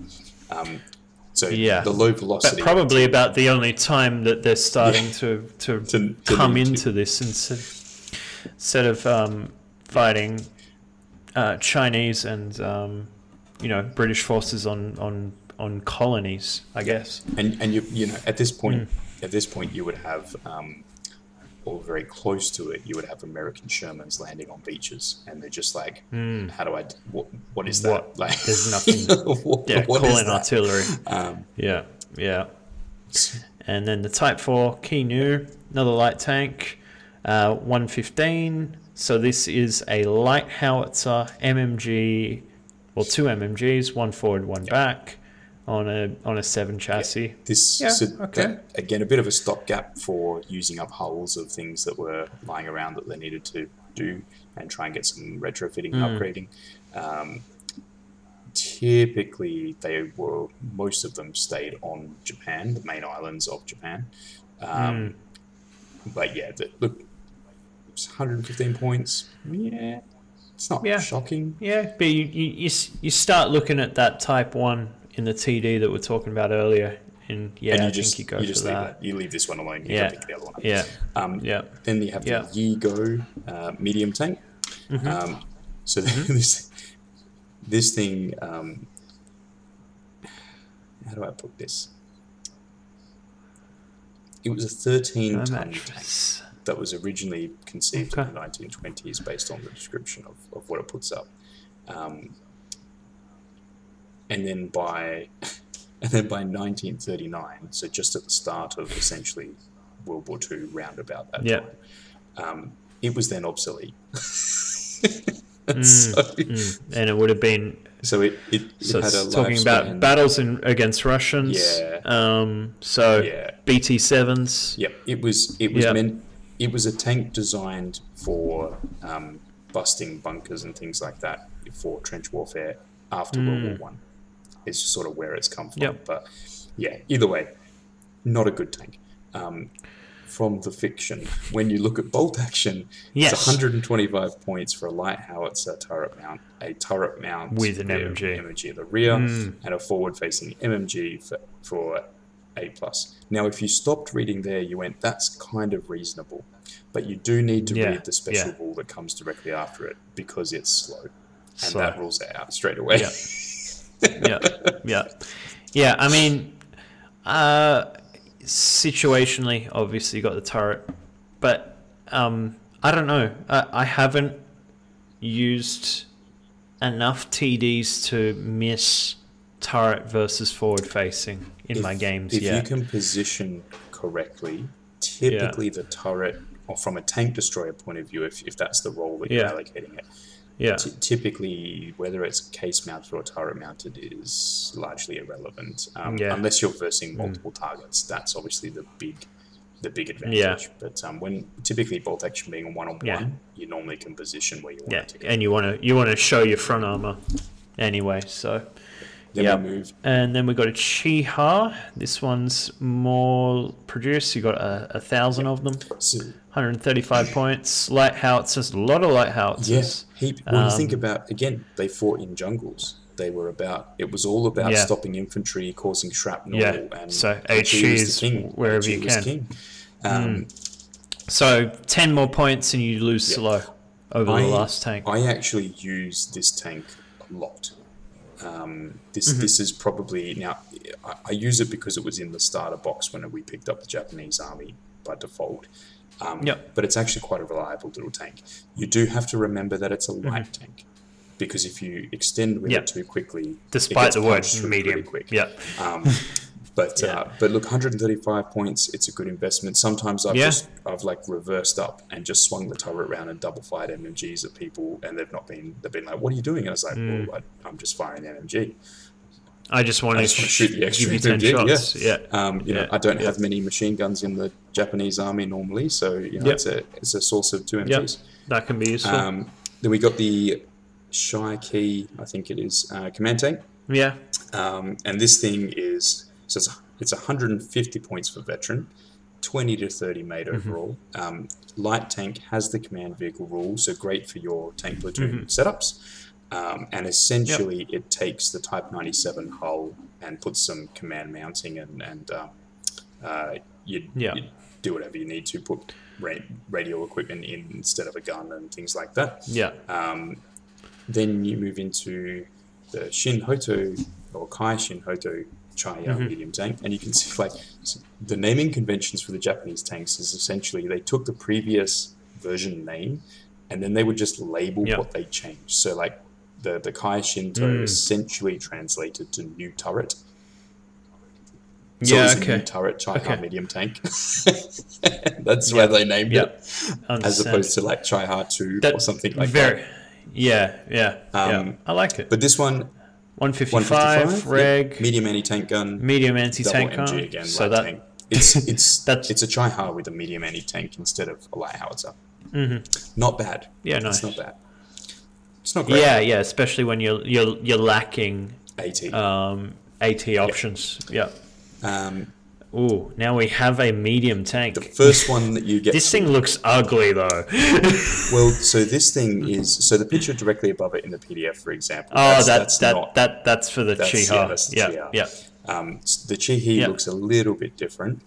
Um, Yeah, it's yeah. still an early, early war design. Like, so it's like Mm. you're coming into sort of principal service 1945, manufactured 170 of them. Um, most of them stayed on Japan because they were uns- so Mm-hmm. they're not even sure if they saw combat properly or not.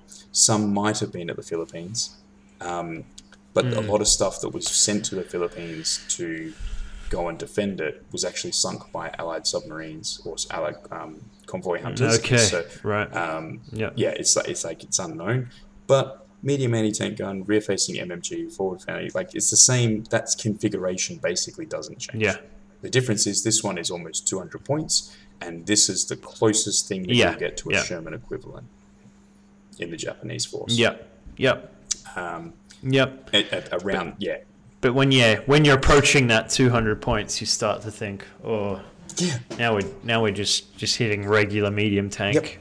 Yep. Obviously, there's not much options after this, No, so it- you might want to consider it if you want a survivable vehicle that can do some If- damage yeah. to other if you vehicles. want to enter the tank sanctified glorified tank combat you sort of want to start with this rather than any of the others because the others won't won't survive um, yeah, we yeah. go to the type 2 Ho-I so this is next round of improvements um, and this is 175 Mm-hmm.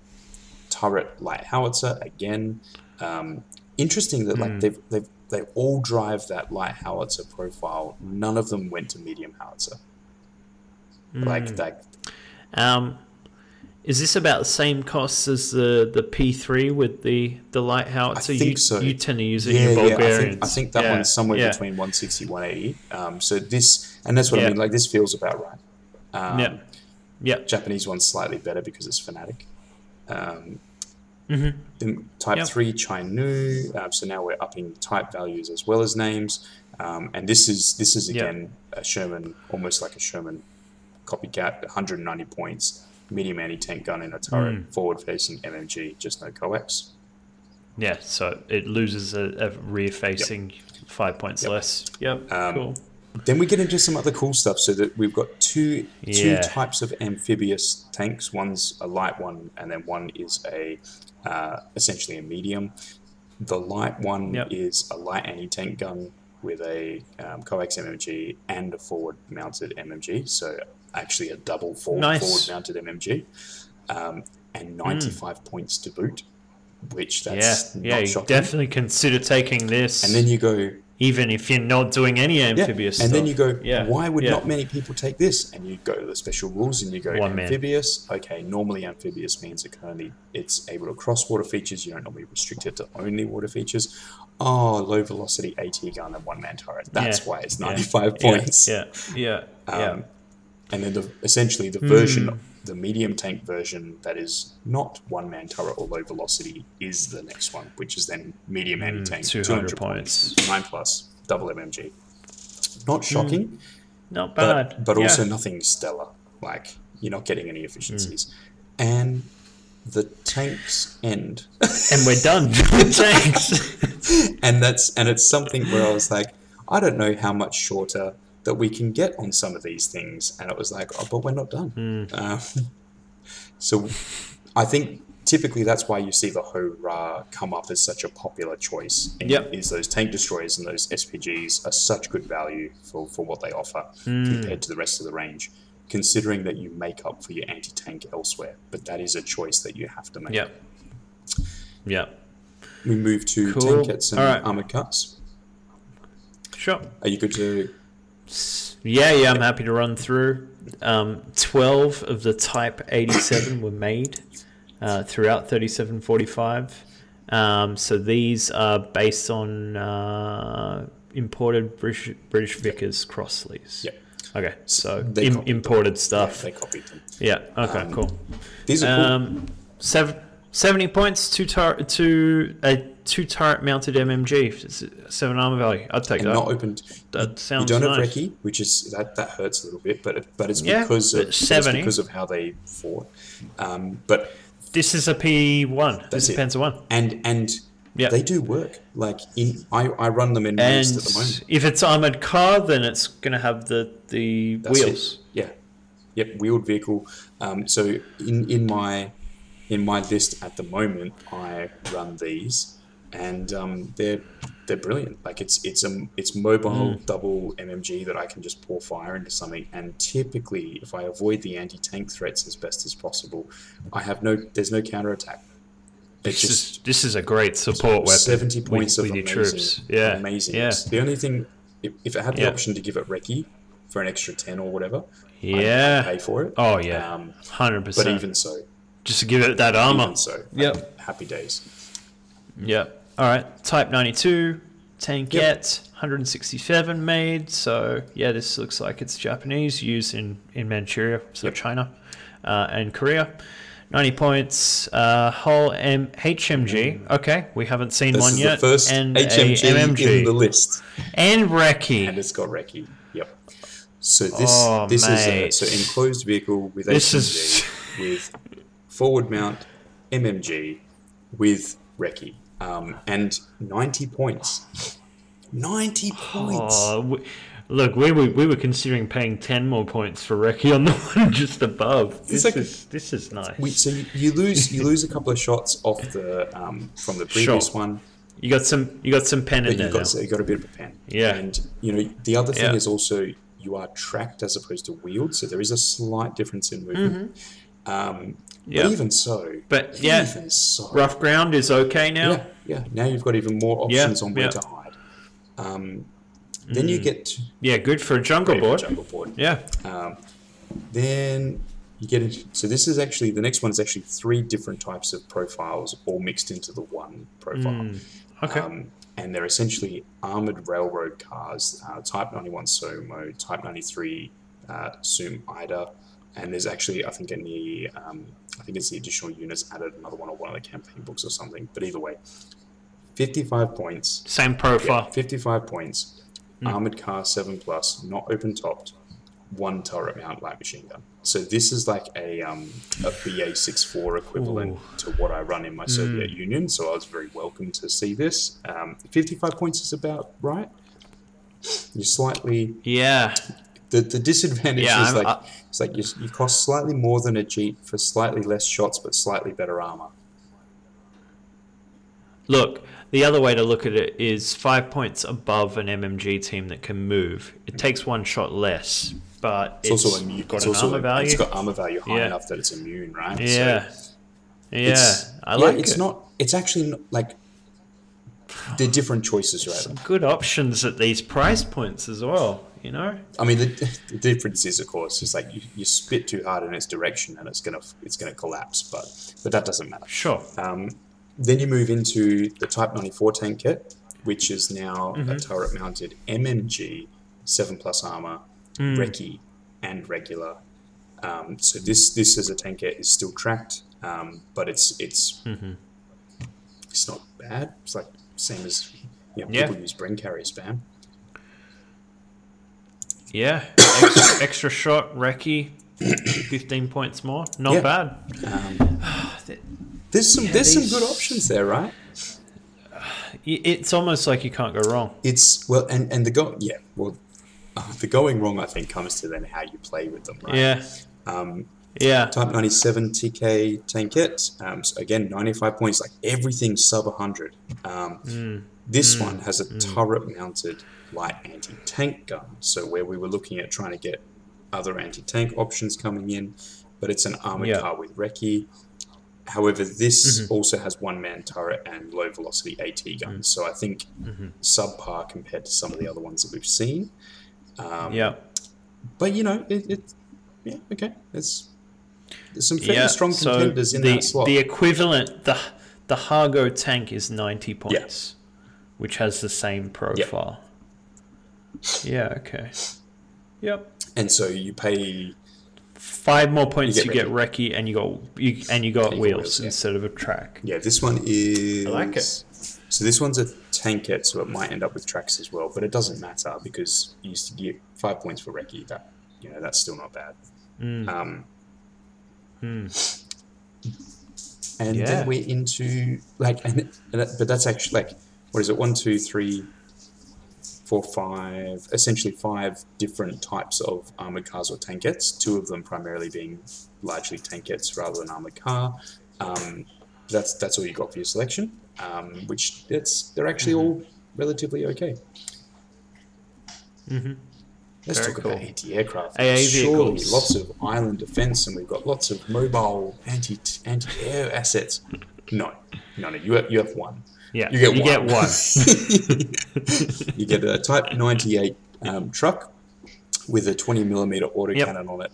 Um, so this is a platform-mounted light autocannon with 360 arc of fire on a soft skin truck for 50 points. yeah. Fifty points. Um, Very yeah, cool. it's it's a, like if light autocannons could be done as like just weapon teams by themselves, um, this is kind of what I expect Yeah. the points cost to be at. Except this one can move, um, and I'm, I'm just like it's Mm, it's look, it's not the best choice, but it's actually not bad. Like it's Yeah, if, if if I can't squeeze in my uh, Type Four, I might be looking at this. Yep.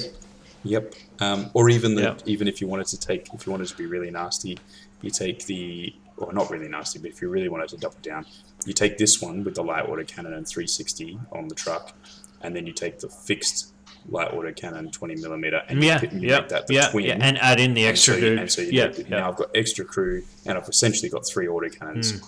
The trick will be that you have to coordinate their fire on the one target and just try and blitz it. Hmm. Um, so that, but that's it for the one. Yeah, Um, nice. And then we get to transports and tows, Some trucks. and this this gets a little bit um, a little bit interesting. It's it's not lazy writing from the, the rules people or the publisher, just to be very very clear. But it's like general purpose trucks, and it's like there are simply so many different types of trucks that they were operating over in Japan, and the it's it was not built the Yeah. way that European cities were built, and so a lot of their trucks were were just different or made by different people. Toyota was obviously quite big um, back then still, and they were producing huge amount of trucks. Um, the estimate that they've got here that they were able to roughly approximate was 50,000 trucks um, just Yeah. of the one type. Uh, and essentially, they were Toyota was copying things um, from other places or creating their own Europe. designs. Like trucks were trucks. Um, so, Mhm. 41 points for the regular version, though. Yeah, yeah, a bit expensive, but it can carry thirteen and, and, dudes. and that's why they're charged a little bit more of a Yeah. premium, is because they can carry 13. Yep. When you go to the light truck, Mm. which obviously would then be a slightly smaller version, you go to the, the more Yep. regular 31 point approximate costings that we see for regular. Um, but these then only Yep. carry eight men, so they cut down quite a bit. Yep. Um, both have the option to put Yep. a pintle on. Um, and then we get to some really Mm. interesting stuff history wise. So we do have, so we've got a couple of different tow style vehicles um, that are in, in, in play. um, Mhm. But w- one of the things that is really odd about Japan is they have half track and track armored carriers. So the Ho-Ha half track type type one, Mm-hmm. um, and the um, the Ho-Ki carrier. And there's a couple of other. Um, there's a Mm-hmm. So-Da carrier and a Prime Mover for tows and um, things like that. But most of them um, they were used for ammunition and towing guns, and so they're summing up most of them. They're like sort of armor seven um, or armor six, and typically 4 to five men. Um, sorry, four to six men. Some of them have slow, some of them have open topped. You know, th- th- those things are transport. You can sort of expect that.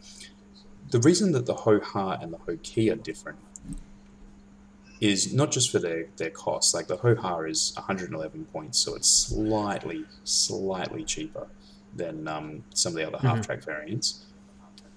But it carries 13 men. I know. What what is the what is with this Ho-Ki though? Well, Seventy so- points. Yeah, so dropping dropping down to the Ho-Ki. So you're spotting where I was already going. So the, the half track holding 13 is not that unusual.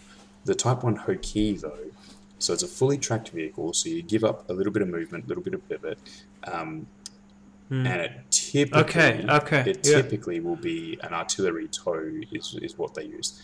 It, it wasn't really in mass production because by the time that they were coming in, it wasn't a priority. However, from Bolt Action's point of view, it's 71 points Yeah. for regular. It's an open-topped armored carrier, so for seven plus. carrier. So you're looking at almost so not the points wise, but you're looking at an armored um, carrier, Bren Yep. carrier sort of profile. You can add a machine gun to to do the forward arc, and you can add a machine gun on the rear arc. Rear arc's maybe not as useful, but hey, if you've got one there, it can, it can pivot out to the you know 45 or whatever. You could Yep. get some extra shots. Now, the size of this particular vehicle is slightly bigger than a Bren carrier. Okay, Okay. carries 13 men. That's It crazy. carries 13 men. So How can you you you can't protect thirteen men for that amount of points anywhere else? it's it's. I mean, I'm, I'm sure. Yeah. I'm sure in certainly in some of the trucks you might be able to get around that sort of a space. Um, Mm-hmm. But this is a seven plus armored carrier carries 13 fanatic infantry, and and I'm just like so my Mm-hmm. and this is where we can probably move on to my list um, component. So yeah. my Japanese list that I've been I have seen a few half tracks that you've painted, uh, Yeah. printed, right? so my Yeah. my um yeah. my Japanese list that I'm playing at the moment um, is nicknamed the Hokey Pokey because I Hmm. have, well, depending on the formatting of the list and the points and everything, the, the core of the list is um, three, sorry, two IJA squads, um, just just their regular squads with uh, eight, eight men light machine gun, um, an engineer squad with a flamer, um, eight man strong, a and then I have two of the grenadier squads with dual light mortars. Um, I also take a light mortar team, so there's five light mortars in the squads, um, and a few Yep. other assets. But all of those mount up into the Hokies, and so the intent is that the Ho-Ki carriers are driven forward by um, the commander. They're flanked by a Type 87 armored car with the dual machine guns. Um, and when I get close enough, they get out and they do the pokey. Yep. Hokey pokey. It is a very different, Very different cool. way of running the Japanese list. But but because I can put up to thirteen men in each of them, the deployment Mm. of that list is five units. Because I have I Mm. have the between the eight man rifle sections. So eight man rifle section goes in one, two, and then the engineers at eight man go in the third. All the other infantry that are, and the teams that are in the squads, there's less than fifteen models, and I have 15 Mm-hmm. free spaces, so they all mount up into the Hokies. And then an armored car goes down, um, and then I have, I think, one other asset that sits next to it, and it's like it's five units that I deploy. And so I'm the, the Yeah, so not such a small such a small footprint footprint, and so hide. so I don't I don't have problems hiding what I want to do or where I want to go. And Yeah. then when I do start moving stuff forward, the Hokies just vomit forward infantry, and it's it's just Yeah, uh, yeah. it's it's it's situational. I did not expect Yes, this. it's situational. but the thing is, like when you when you drop out um, when you when you drop out two units from two of the carriers, and they've got light mortars in them that just instantly start trying to drop in and range in on your fixed assets as well. Um, you're caught in the decision of like, I know that there's fanatical infantry that's about to jump out and start running towards me as well. I don't particularly want to just deal with those light mortars. But if I don't deal with those light mortars, there are four of them now mm. trying to range in on me. One of them is going to roll a five next turn. And once one of yeah. them runs, once it gets the five over for the conversion, then I'm getting two potentially two pins a turn. But if two, and the problem is if two of them range in on me, I'm potentially taking four pins a turn. That just takes the unit out mm. of game. Like you're forced to rally. Yeah. I'm still ranged in, so I'm still going to hit you next turn anyway. I'm fanatic, so you can kill every other grenadier in the squadron. I will leave that light mortar alive and just keep hitting you on twos. It doesn't. It doesn't yep. matter. Yeah. It just doesn't matter.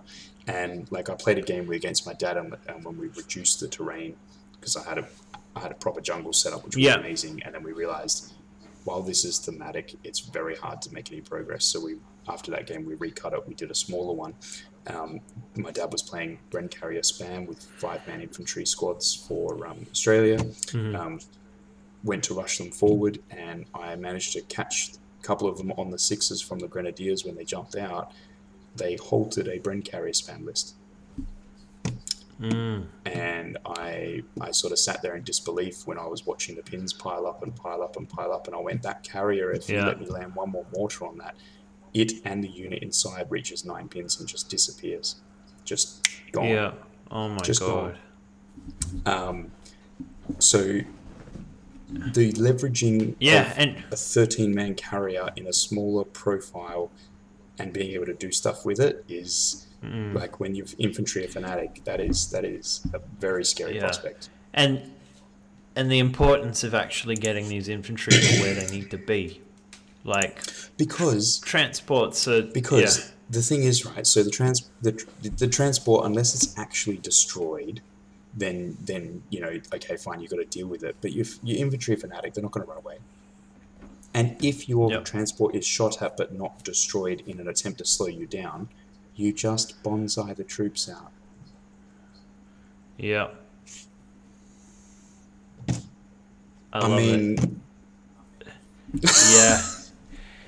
Why are these Why are these carriers so cheap? Because because they're amazing. Yeah, but like the the dis, the disadvantage the disadvantage is right. So is they're not half is, is they're not actually right? half tracks. So so yeah, they're, yeah. they're, so cheap because you're reduced on your movement and you're reduced on your pivots. But if you can pilot a tank, you can pilot a Ho-Ki carrier. Yeah, and and then then it's not a problem. Um, yeah. Look, I, I, I love taking inexperienced vehicle, sorry, inexperienced transports for the transport rule of getting my things up the board, but it's always a bit of a risk. Uh, and I feel the risk is, can, for me, because uh, I don't particularly play um, outflank. Yep and I, I typically have my transports somewhere in the middle that are, that are hiding behind some line of sight covering terrain. And then if, if I need to wait a turn then I will. And wait for them to move to the right spot and, and then have the assault squad come out. But yeah I mean I can't buy Hanomags because they're just that much more expensive. Yeah let, let me this this is worth let me it. blow your mind just a little bit further because I've obviously already I, from my list I did the math yeah. anyway. So I do take them as inexperienced in my list normally. Yeah, yeah, because, I, w- I would think that too. Because for fifty-seven points, I buy them the MMG to cover the forward arc and give them a weapon, and now they come in at seventy-two points. So for one Whoa. point above what I would normally pay for them to be regular, I gain a medium machine gun a firing a, a firing yeah. arc. Yeah, yeah. And and like so for mm. one, so if I drop one of those submachine guns off an NCO later in my list somewhere else, that frees up the three points. Yeah. And every Ho-Ki that I purchase comes in at seventy two inexperienced with a gun instead. Um, and if you blow it up, mm. I don't care. Like that. That's the biggest problem. Yeah. From an opponent's point of view, is but I blew your transport up and I killed six dudes. Well, there's 13 in it they're charging and at they're you. fanatic, so don't care. yeah. Um, and all that's Yeah. going to happen Yeah. is that yes, you blew it up and they've got a pin.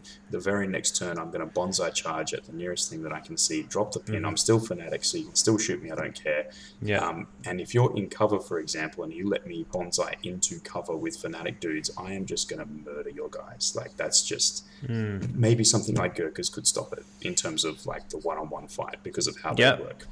Sure. anything but, else? But yeah, are paying a lot more to do that for that round of combat, a right? lot more. Yep. Um, Yeah. So I, I think we can probably talk about a couple of um, typical list pieces that that run in Japan that are notably put forward as good. Now, bearing in mind we haven't touched on any of the campaign stuff, which actually adds a lot of really nice stuff Mm-hmm. to Japan. Um, your infantry are just solid. Like they, they don't look they Yeah, don't look yeah. solid on paper because you don't have like all the special weapons and, and things like all special rules yeah. Yeah. but they are solid because you will not run away. And I, ca- I cannot overstate how important that rule is of being fanatic across the board for free. Like, that's huge. Mm. Um, Grenadiers are amazing. Yeah. Like, anyone anyone has had, like, the mortars range in from a grenadier squad, the turn that they've moved in advance, so they're firing all their weapons trying to go, and you have that one mortar that hits one of your units, potentially the same unit you're shooting at, and you're just Yep. like, great. Like it's not gonna, Yeah, it's not gonna do a lot of damage, and it's only gonna possibly put two pins on me. That's recoverable. But the problem is now, if I stay where I am, which I've obviously moved there strategically for the board play that I want, if I now stay there, the risk is I'm going to get hit by two more next turn Yeah. because Yeah, one will miss, one will successfully range in, and one is already ranged in. So now I'm going, yes, it's still only D2 pins max. They're not going to double up that way from the pins. But now they're potentially getting on two separate template attacks that don't have to be joined, three models per template. So Mm. do I now have to go down, which is still going to leave me with two models per template that are hit and Yeah. that and like Yeah. I'm still losing four models before the rifles fire. Yeah. Yeah. Like This it's is. it's not good. it's not yeah, good. Yeah. You have to move out of position. You you, you ha- and and yeah, so you have to make a, a, a gotta make a hardcore. hardcore, and and that's Yeah. Yeah. and that's how you see the grenadiers being used is to make those decisions. They're fantastic at rooting out snipers because a sniper is not able to kill enough rifles or mortars fast enough to actually then stop Mm-hmm. being ranged in on. Um, over three turns, it's likely that a mortar team is going to range in on them before the sniper kills three models worth. Typically, of um, course. you'll have one of them range in, and then you just, as soon as he's ranged in, you're like, great, well, you're going to take pins and may not activate, which means that's going to allow the next ones to go in. So I currently run my grenadiers as units of uh, units of six, which is two mortars, two loaders, an NCO, and Yep. an extra rifleman. I have Yep. toyed with sevens and doing a rifle uh, NCO with a rifle, and then three light mortars. um, I have done, Yep. I have toyed Yep. with doing that. Um, it is 75 points to actually make that work. So you're spending almost 100 points just on that unit configuration. But that unit configuration can essentially reach out and touch several different objects at 24 inches. So that's not bad. Yeah. Um, it's also incredibly useful at firing. Like out of all the problems with smoke in the game, grenadiers are one of the units that can actually make smoke work for them. Because mm-hmm. all three of them target the same point, you resolve them individually. Smoke's not allowed to overlap, and so if, if one or more of them hit on the same space, you get to place that conflicting smoke marker, so you can Okay. actually create a little bit of a daisy chain. Yeah. And because you're zoomed in on the point, you then roll your hits again, and if you succeed to hit, you then can place that smoke in contact with it again, and so you can actually create a So you a make balloon. that wall. Yeah. So when you have two squads ranging in on it at once, trying to just block something out, you feasibly could do it. I don't recommend it. It's not. It's not a Yep. great tactic, but it's much better than any other unit in the game. Short of um, the smoke observer shot that comes in from the artillery guy that doesn't scatter and drops like a 12 inch Yeah. marker. Um, Yeah. Expensive move. and a one shot, a one shot move, and it's done. Yeah. And you lose your artillery Yeah. strike while doing it. Um, Mm. The Ho-Ra tank, man, that thing is That is So good. amazing. That is a staple for like sure. for, for people who are struggling to understand why that particular vehicle is so good. You need to think about the fact that the range on the heavy howitzer outweighs the inexperienced value. Mm. Like the the just got my book here again. I can flick across. A heavy howitzer shoots heavy. 72 inches direct. Yeah, so direct. 36. So it's yeah, so it's 36 to, to 84 indirect, but you don't care about the indirect. You actually want to fire it direct. And you want to fire over Yep. open sights as an inexperienced something, and you just put it at the back. Because most games that Yep. you fight, 36 inches will be within your half range. And they'll Mm. that's if they have moved out of their deployment zone, they're in your half range yeah, you're in. and Yeah. as long as you're not on too much of an oblique angle, um, and you're essentially like, well, I'm, I'm gonna I'm gonna just take the four, and if you're in cover and four sixes, I'm like, I'm willing to take a six. You want to go Yeah. down Yeah, because I'm not gonna move and I'm not gonna have range. So you want to go down, and if they say no, yeah. and And you hit with them with a heavy howitzer, and they go, oh, I changed my mind. Um, it's like, of course, of course, because you just got hit by a heavy howitzer, you weren't ready for it. And it's like, and then they'll go, oh, and how much was that? And you go 124 points, and they go, ah, this should be, because Yeah. it'll feel unfair to them. Because it's it's, incredible, because it's point efficient, because you can you can fire one shot and get its points back. Yeah. Like you hit one veteran unit, Yeah. and you you eradicate Yeah, them. you've done you get it. your points back, and your efficiency's up. And bolt action doesn't Yeah. always run on efficiencies, but at the same time, innately, if you can fire off one shot and eradicate a unit, or even force a unit to be immobile the next turn, or force a unit just to not want to engage in the in the play space, like I said, you position it, you shut down a section of the board, and you go, you go anywhere near mm. that, I'm going to put a heavy howitzer on you on a four plus. You can risk Yeah. it if you want, but I'm four plus. It's going. in. That's like why? And then you get like double Yeah. platoons where you take like more than one. I Oh, know. Because then that's just the price of like one medium tank, and you got two of them. And they're heavy howitzers. It's not even like they're medium anti-tank shots. It's like it's like no, no, yeah, heavy yeah. Um, but look, I, I think there's there's a there's a couple of other really good vehicles. Mm. The Type One Ho Ni tank destroyer is also actually good, where you get that versatile. yeah, one. yeah, yeah. I, quite like that. Yeah, 120. Um, if you're really if you're wanting to scrimp on your points but still get benefit, um, that you still get a great that option. profile is actually very Yeah. similar to the Su-76, one of my favorite Soviet vehicles, which has Mm-hmm. that split profile, open topped. Um, it's armor eight, so it's technically a little bit better, but I also have to pay. Yeah. I think it's Yeah. 120, 130 points or whatever. So it's like it's almost it's the same. Um, Mhm. Forward deploying spear mine dudes. Yeah. Oh my gosh. And three of them. And it's do you take him as inexperienced or vets? It's I've, so I've actually taken them at all three levels um, in different Yeah, formats okay. to understand, you know, what works and what doesn't.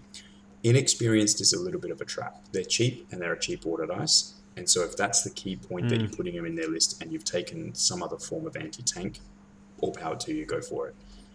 I Yeah. find that inexperienced guys just simply get shot down really easily. Yeah. Yeah. because- Especially if it's one well, the- wound. yeah, because the thing is, like, if you're if you're Yeah. within tw- if you're within twelve, but outside of six, your opponent's still entitled to a reaction to shoot.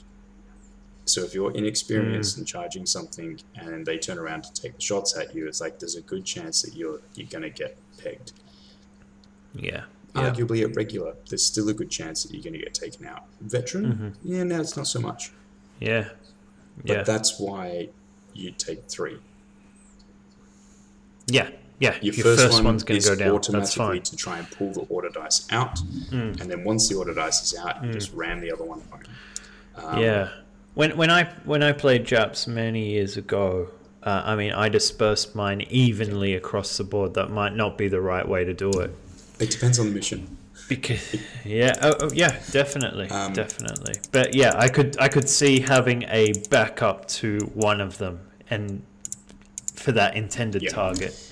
Yeah, maybe one will go down, but the next one will get it. There is um, Um, there's a couple of selectors which uh, that actually allow you. Um, I'm just trying to find the one that I saw earlier. They they allow you multiple anti-tank teams, um, which Which then have three on yeah, their own. Which Yeah, which in yeah, a in yeah. a Japanese list, it's like, no, why Yeah. why you do this? Um, yeah, here we go. So, yeah, I think New Guinea had something yeah. like that, So the, right? the, the battle the battle Yeah. for Tarawa, 1943 selector, which is a special naval landing Mm. force um, initiative, um, where they fought the U.S. Yeah. Second Division. I think it was second Second Marine Division. Um, that has oh, this is disgusting. So it has the two special naval landing force components. It has 0 to Mm-hmm. four infantry squads, which are basically all forced to be special naval landing force. Two up to two MMGs, Mm-hmm. up to two mortar teams, up to three snipers, Mm. and Oh, up to two anti-tank teams out of anti-tank rifles and suicide anti-tank teams. Like so that is so if you take if you took Yeah. the three snipers and the multiple sets of suicide teams as the extensions for threes plus the anti-tank team um, that you're able to able to take. The anti-tank te- rifle teams are just bonuses, but the suicide anti-tank teams and the snipers, you go right. Snipers are key and positional, so I want them to be set up correctly. The other six guys, three of them might go hunter tank.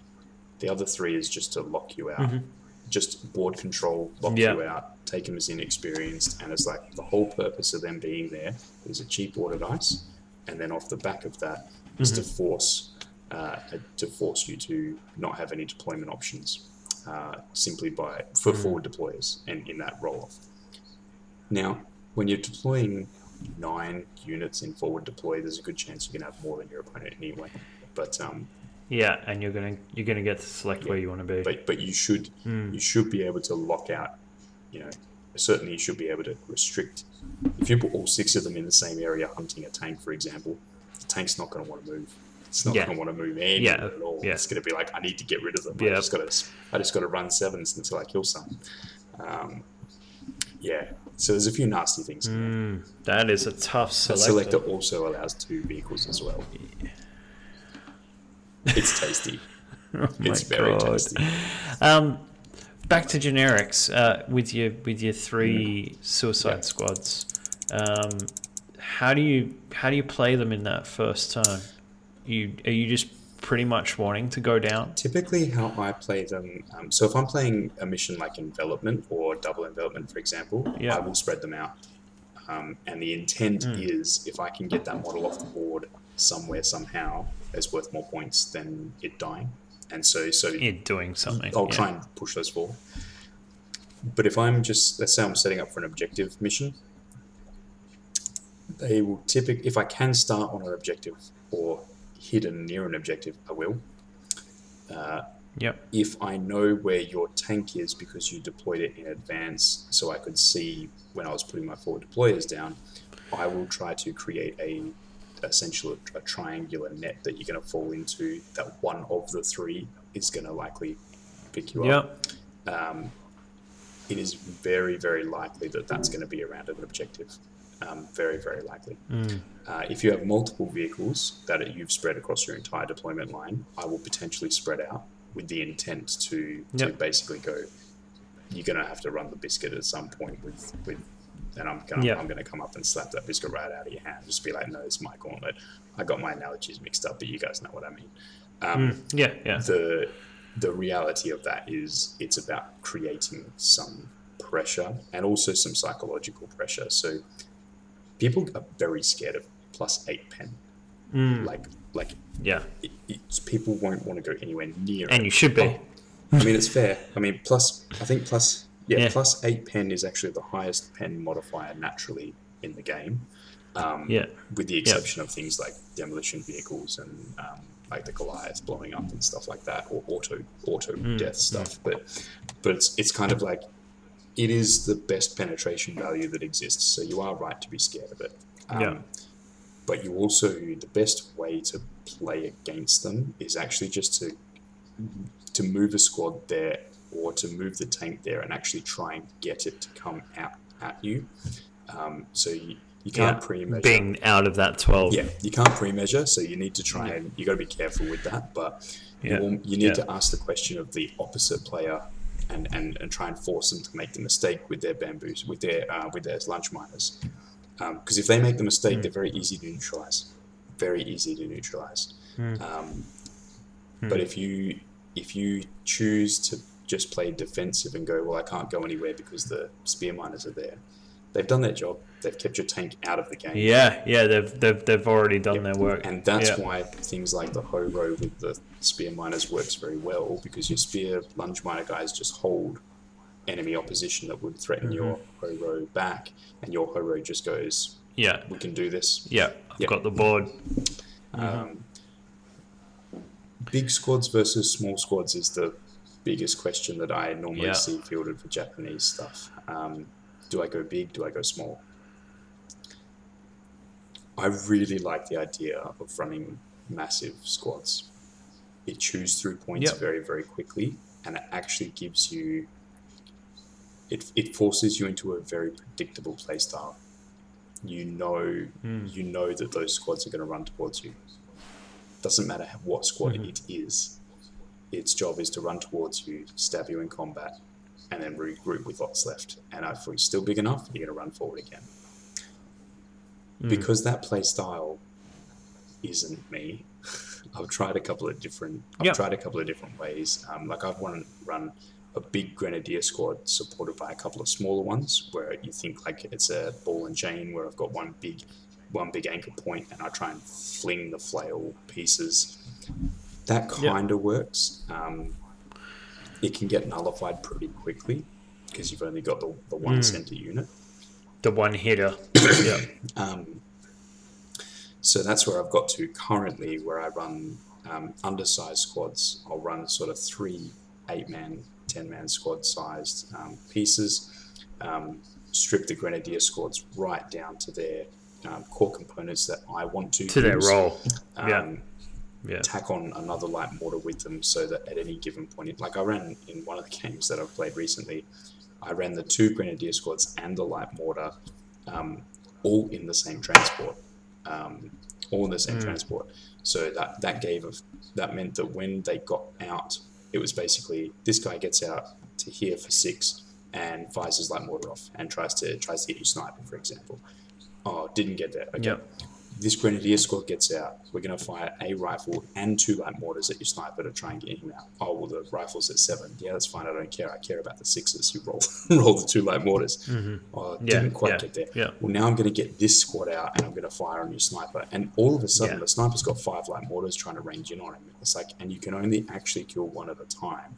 And they're, they're spread between Mm. three different squads. It's not not going to happen. Yeah. Um, and then you get the squads that break the rules that are in the campaign books, which you know we'll, I'll talk about those later. Um, Yeah. Yeah. uh, that's a topic for a different conversation, I suspect. That that's a that would be another Yeah. video, definitely. But um, in fact, uh, I think New Guinea might be one of the more interesting ones to try. There's a lot of special rules, um, traps and tunnels and all kinds of stuff. Great. Um, and obviously, like the the Aussies are really expanded there. Yeah. Um, that might be a good option if you guys can let us know in the comments what you want to see. Because we're getting close to getting through most of the main armies. We've still got a few to go. Yeah, I think we, we've got a couple more. Um, like we've got the two minor book nations essentially. So the so Yep. um, France and the Allies and um, armies of Axis in Italy. Um, we've got to go got to go through those. Um, but I think we've covered all the main books now. Yeah. Yeah, Yeah, I think, I think Japan was the last the last big five nation to be covered. Yeah. Um, yeah. Yep. Yeah, Yeah. Now we're on to minor nations, which is which is interesting in itself. there's a lot Um, of fun in there. And then, yeah, yeah, I'd love to have a look at some campaign books Oh, together. yeah. I think Um, we, we, we have to. I yeah. think the um, but but in terms of um, armies of Japan, look, i i don't feel that you have to play the bamboo spearman list. There is actually a Yep. lot more flexibility in this army book than what people give it credit for. Um, it just takes a little bit more to see it. Those wep- those weapon Yeah. teams, for example, and being able to just add crew and that they're fanatic. I'm like, I missed Yeah, that was really interesting. yeah, I, I completely skimmed over that. Most- my first most reading. people do because they don't they don't connect Yeah. the dots to go actually that's that's really Yeah. good um, yeah, yeah but that's that's a big one that's a really big one and then um, Mm. uh, I think the other thing is that you actually do have very solid infantry and and you you Mm-hmm. have to play with them to understand which way you prefer um, it's like it's like when you're playing any war game right like you have to understand what you're you actually like as a play style. You you can't just pick up a list Yeah. off the net and be like, "Oh, I'm just going to be able to pilot this 100. percent mm, You need to practice with it. You need yeah, to see if you like works. it. If you don't like the type of list, you typically find it doesn't work for you. That's just how wargaming seems to Mm. go. Um, because you won't be looking for where it needs to maximize its opportunities because you're trying to play it a different way. Um, and so Yeah, and that's definitely what happened Yeah. to me. I, I was I was missing everything that I'd be doing normally with with a with a major nation, I guess, uh, and I, I couldn't see it. I was too new as well. yeah, Um, but uh, yeah, this is this is really giving me some second Yeah, thoughts. I think there's there's a lot um, there's a lot in this space with with Japan. I think that it requires a bit more finesse than what it appears on paper. Like when it appears on paper, you just like, and that's mm. like for example with the bikes with the squads, it's like, oh, all my, yeah, what's the point of giving my squads bikes? And I'm like, well, typically with that one, you don't pay for it unless you know there's going to be roads for you to leverage them on. But when you do know there's going to be some sort of roads there, like at an event, you'll typically be able to take advantage of at least one road somewhere for some of the game. yeah, of course. Yeah, You only need it for Yeah. one move. Just one move. Just the first one. yeah, Just run everything Yeah. up to essentially 24 inches as, or as close as you can get. And unless they spend their entire turn destroying that unit, you will be able to do something next turn. Um, because and then that buys time for the rest of your army to get up, and that is the point. Um, you know, it's, it, there's a lot of interplay between the squads, but um, yeah, it's. I'm enjoying playing them at the moment. I'm enjoying playing them in my quirky Yeah. way at the moment. A lot of people are like, "You brought like tracked transports for Japan." I was like, "You wait till you see what jumps out of it." yeah. well, thi- this was definitely the right time to start exploring Japan. Then that you've you've gone down this route because it's quite different to what you see on paper at a glance with this army. But so this this this really opened my eyes. Um, I. I- They, they're much different to what I anticipated, Mm. um, which which is also, I think, part to the community as well. Yeah. I mean, we, we, we just talk about bamboo spearmen for the most part online. Um, so yeah, there's a bit more nuance to it. So I think this is this is the episode to check if you want to know a little bit more about Japan. Thank you so much, Dan. That that's really insightful. Um, yeah, uh, you can follow us on um, YouTube, Facebook. Um, we're on what you call it, Instagram as well. Um, but yeah, Western Tabletop is the channel on YouTube. We are the HMG podcast. You can get us on Spotify, all the other podcast apps. Um, tune in with us next time, hopefully with more of the crew. Uh, but yeah, uh, this, this was great, Dan. Uh, Armies of Japan, another HMG episode Hey. down. Uh, we'll catch you next We time. will indeed. Um, thanks to everyone who's listening, and um, let us know your comments. Awesome. Catch you Bye. next time.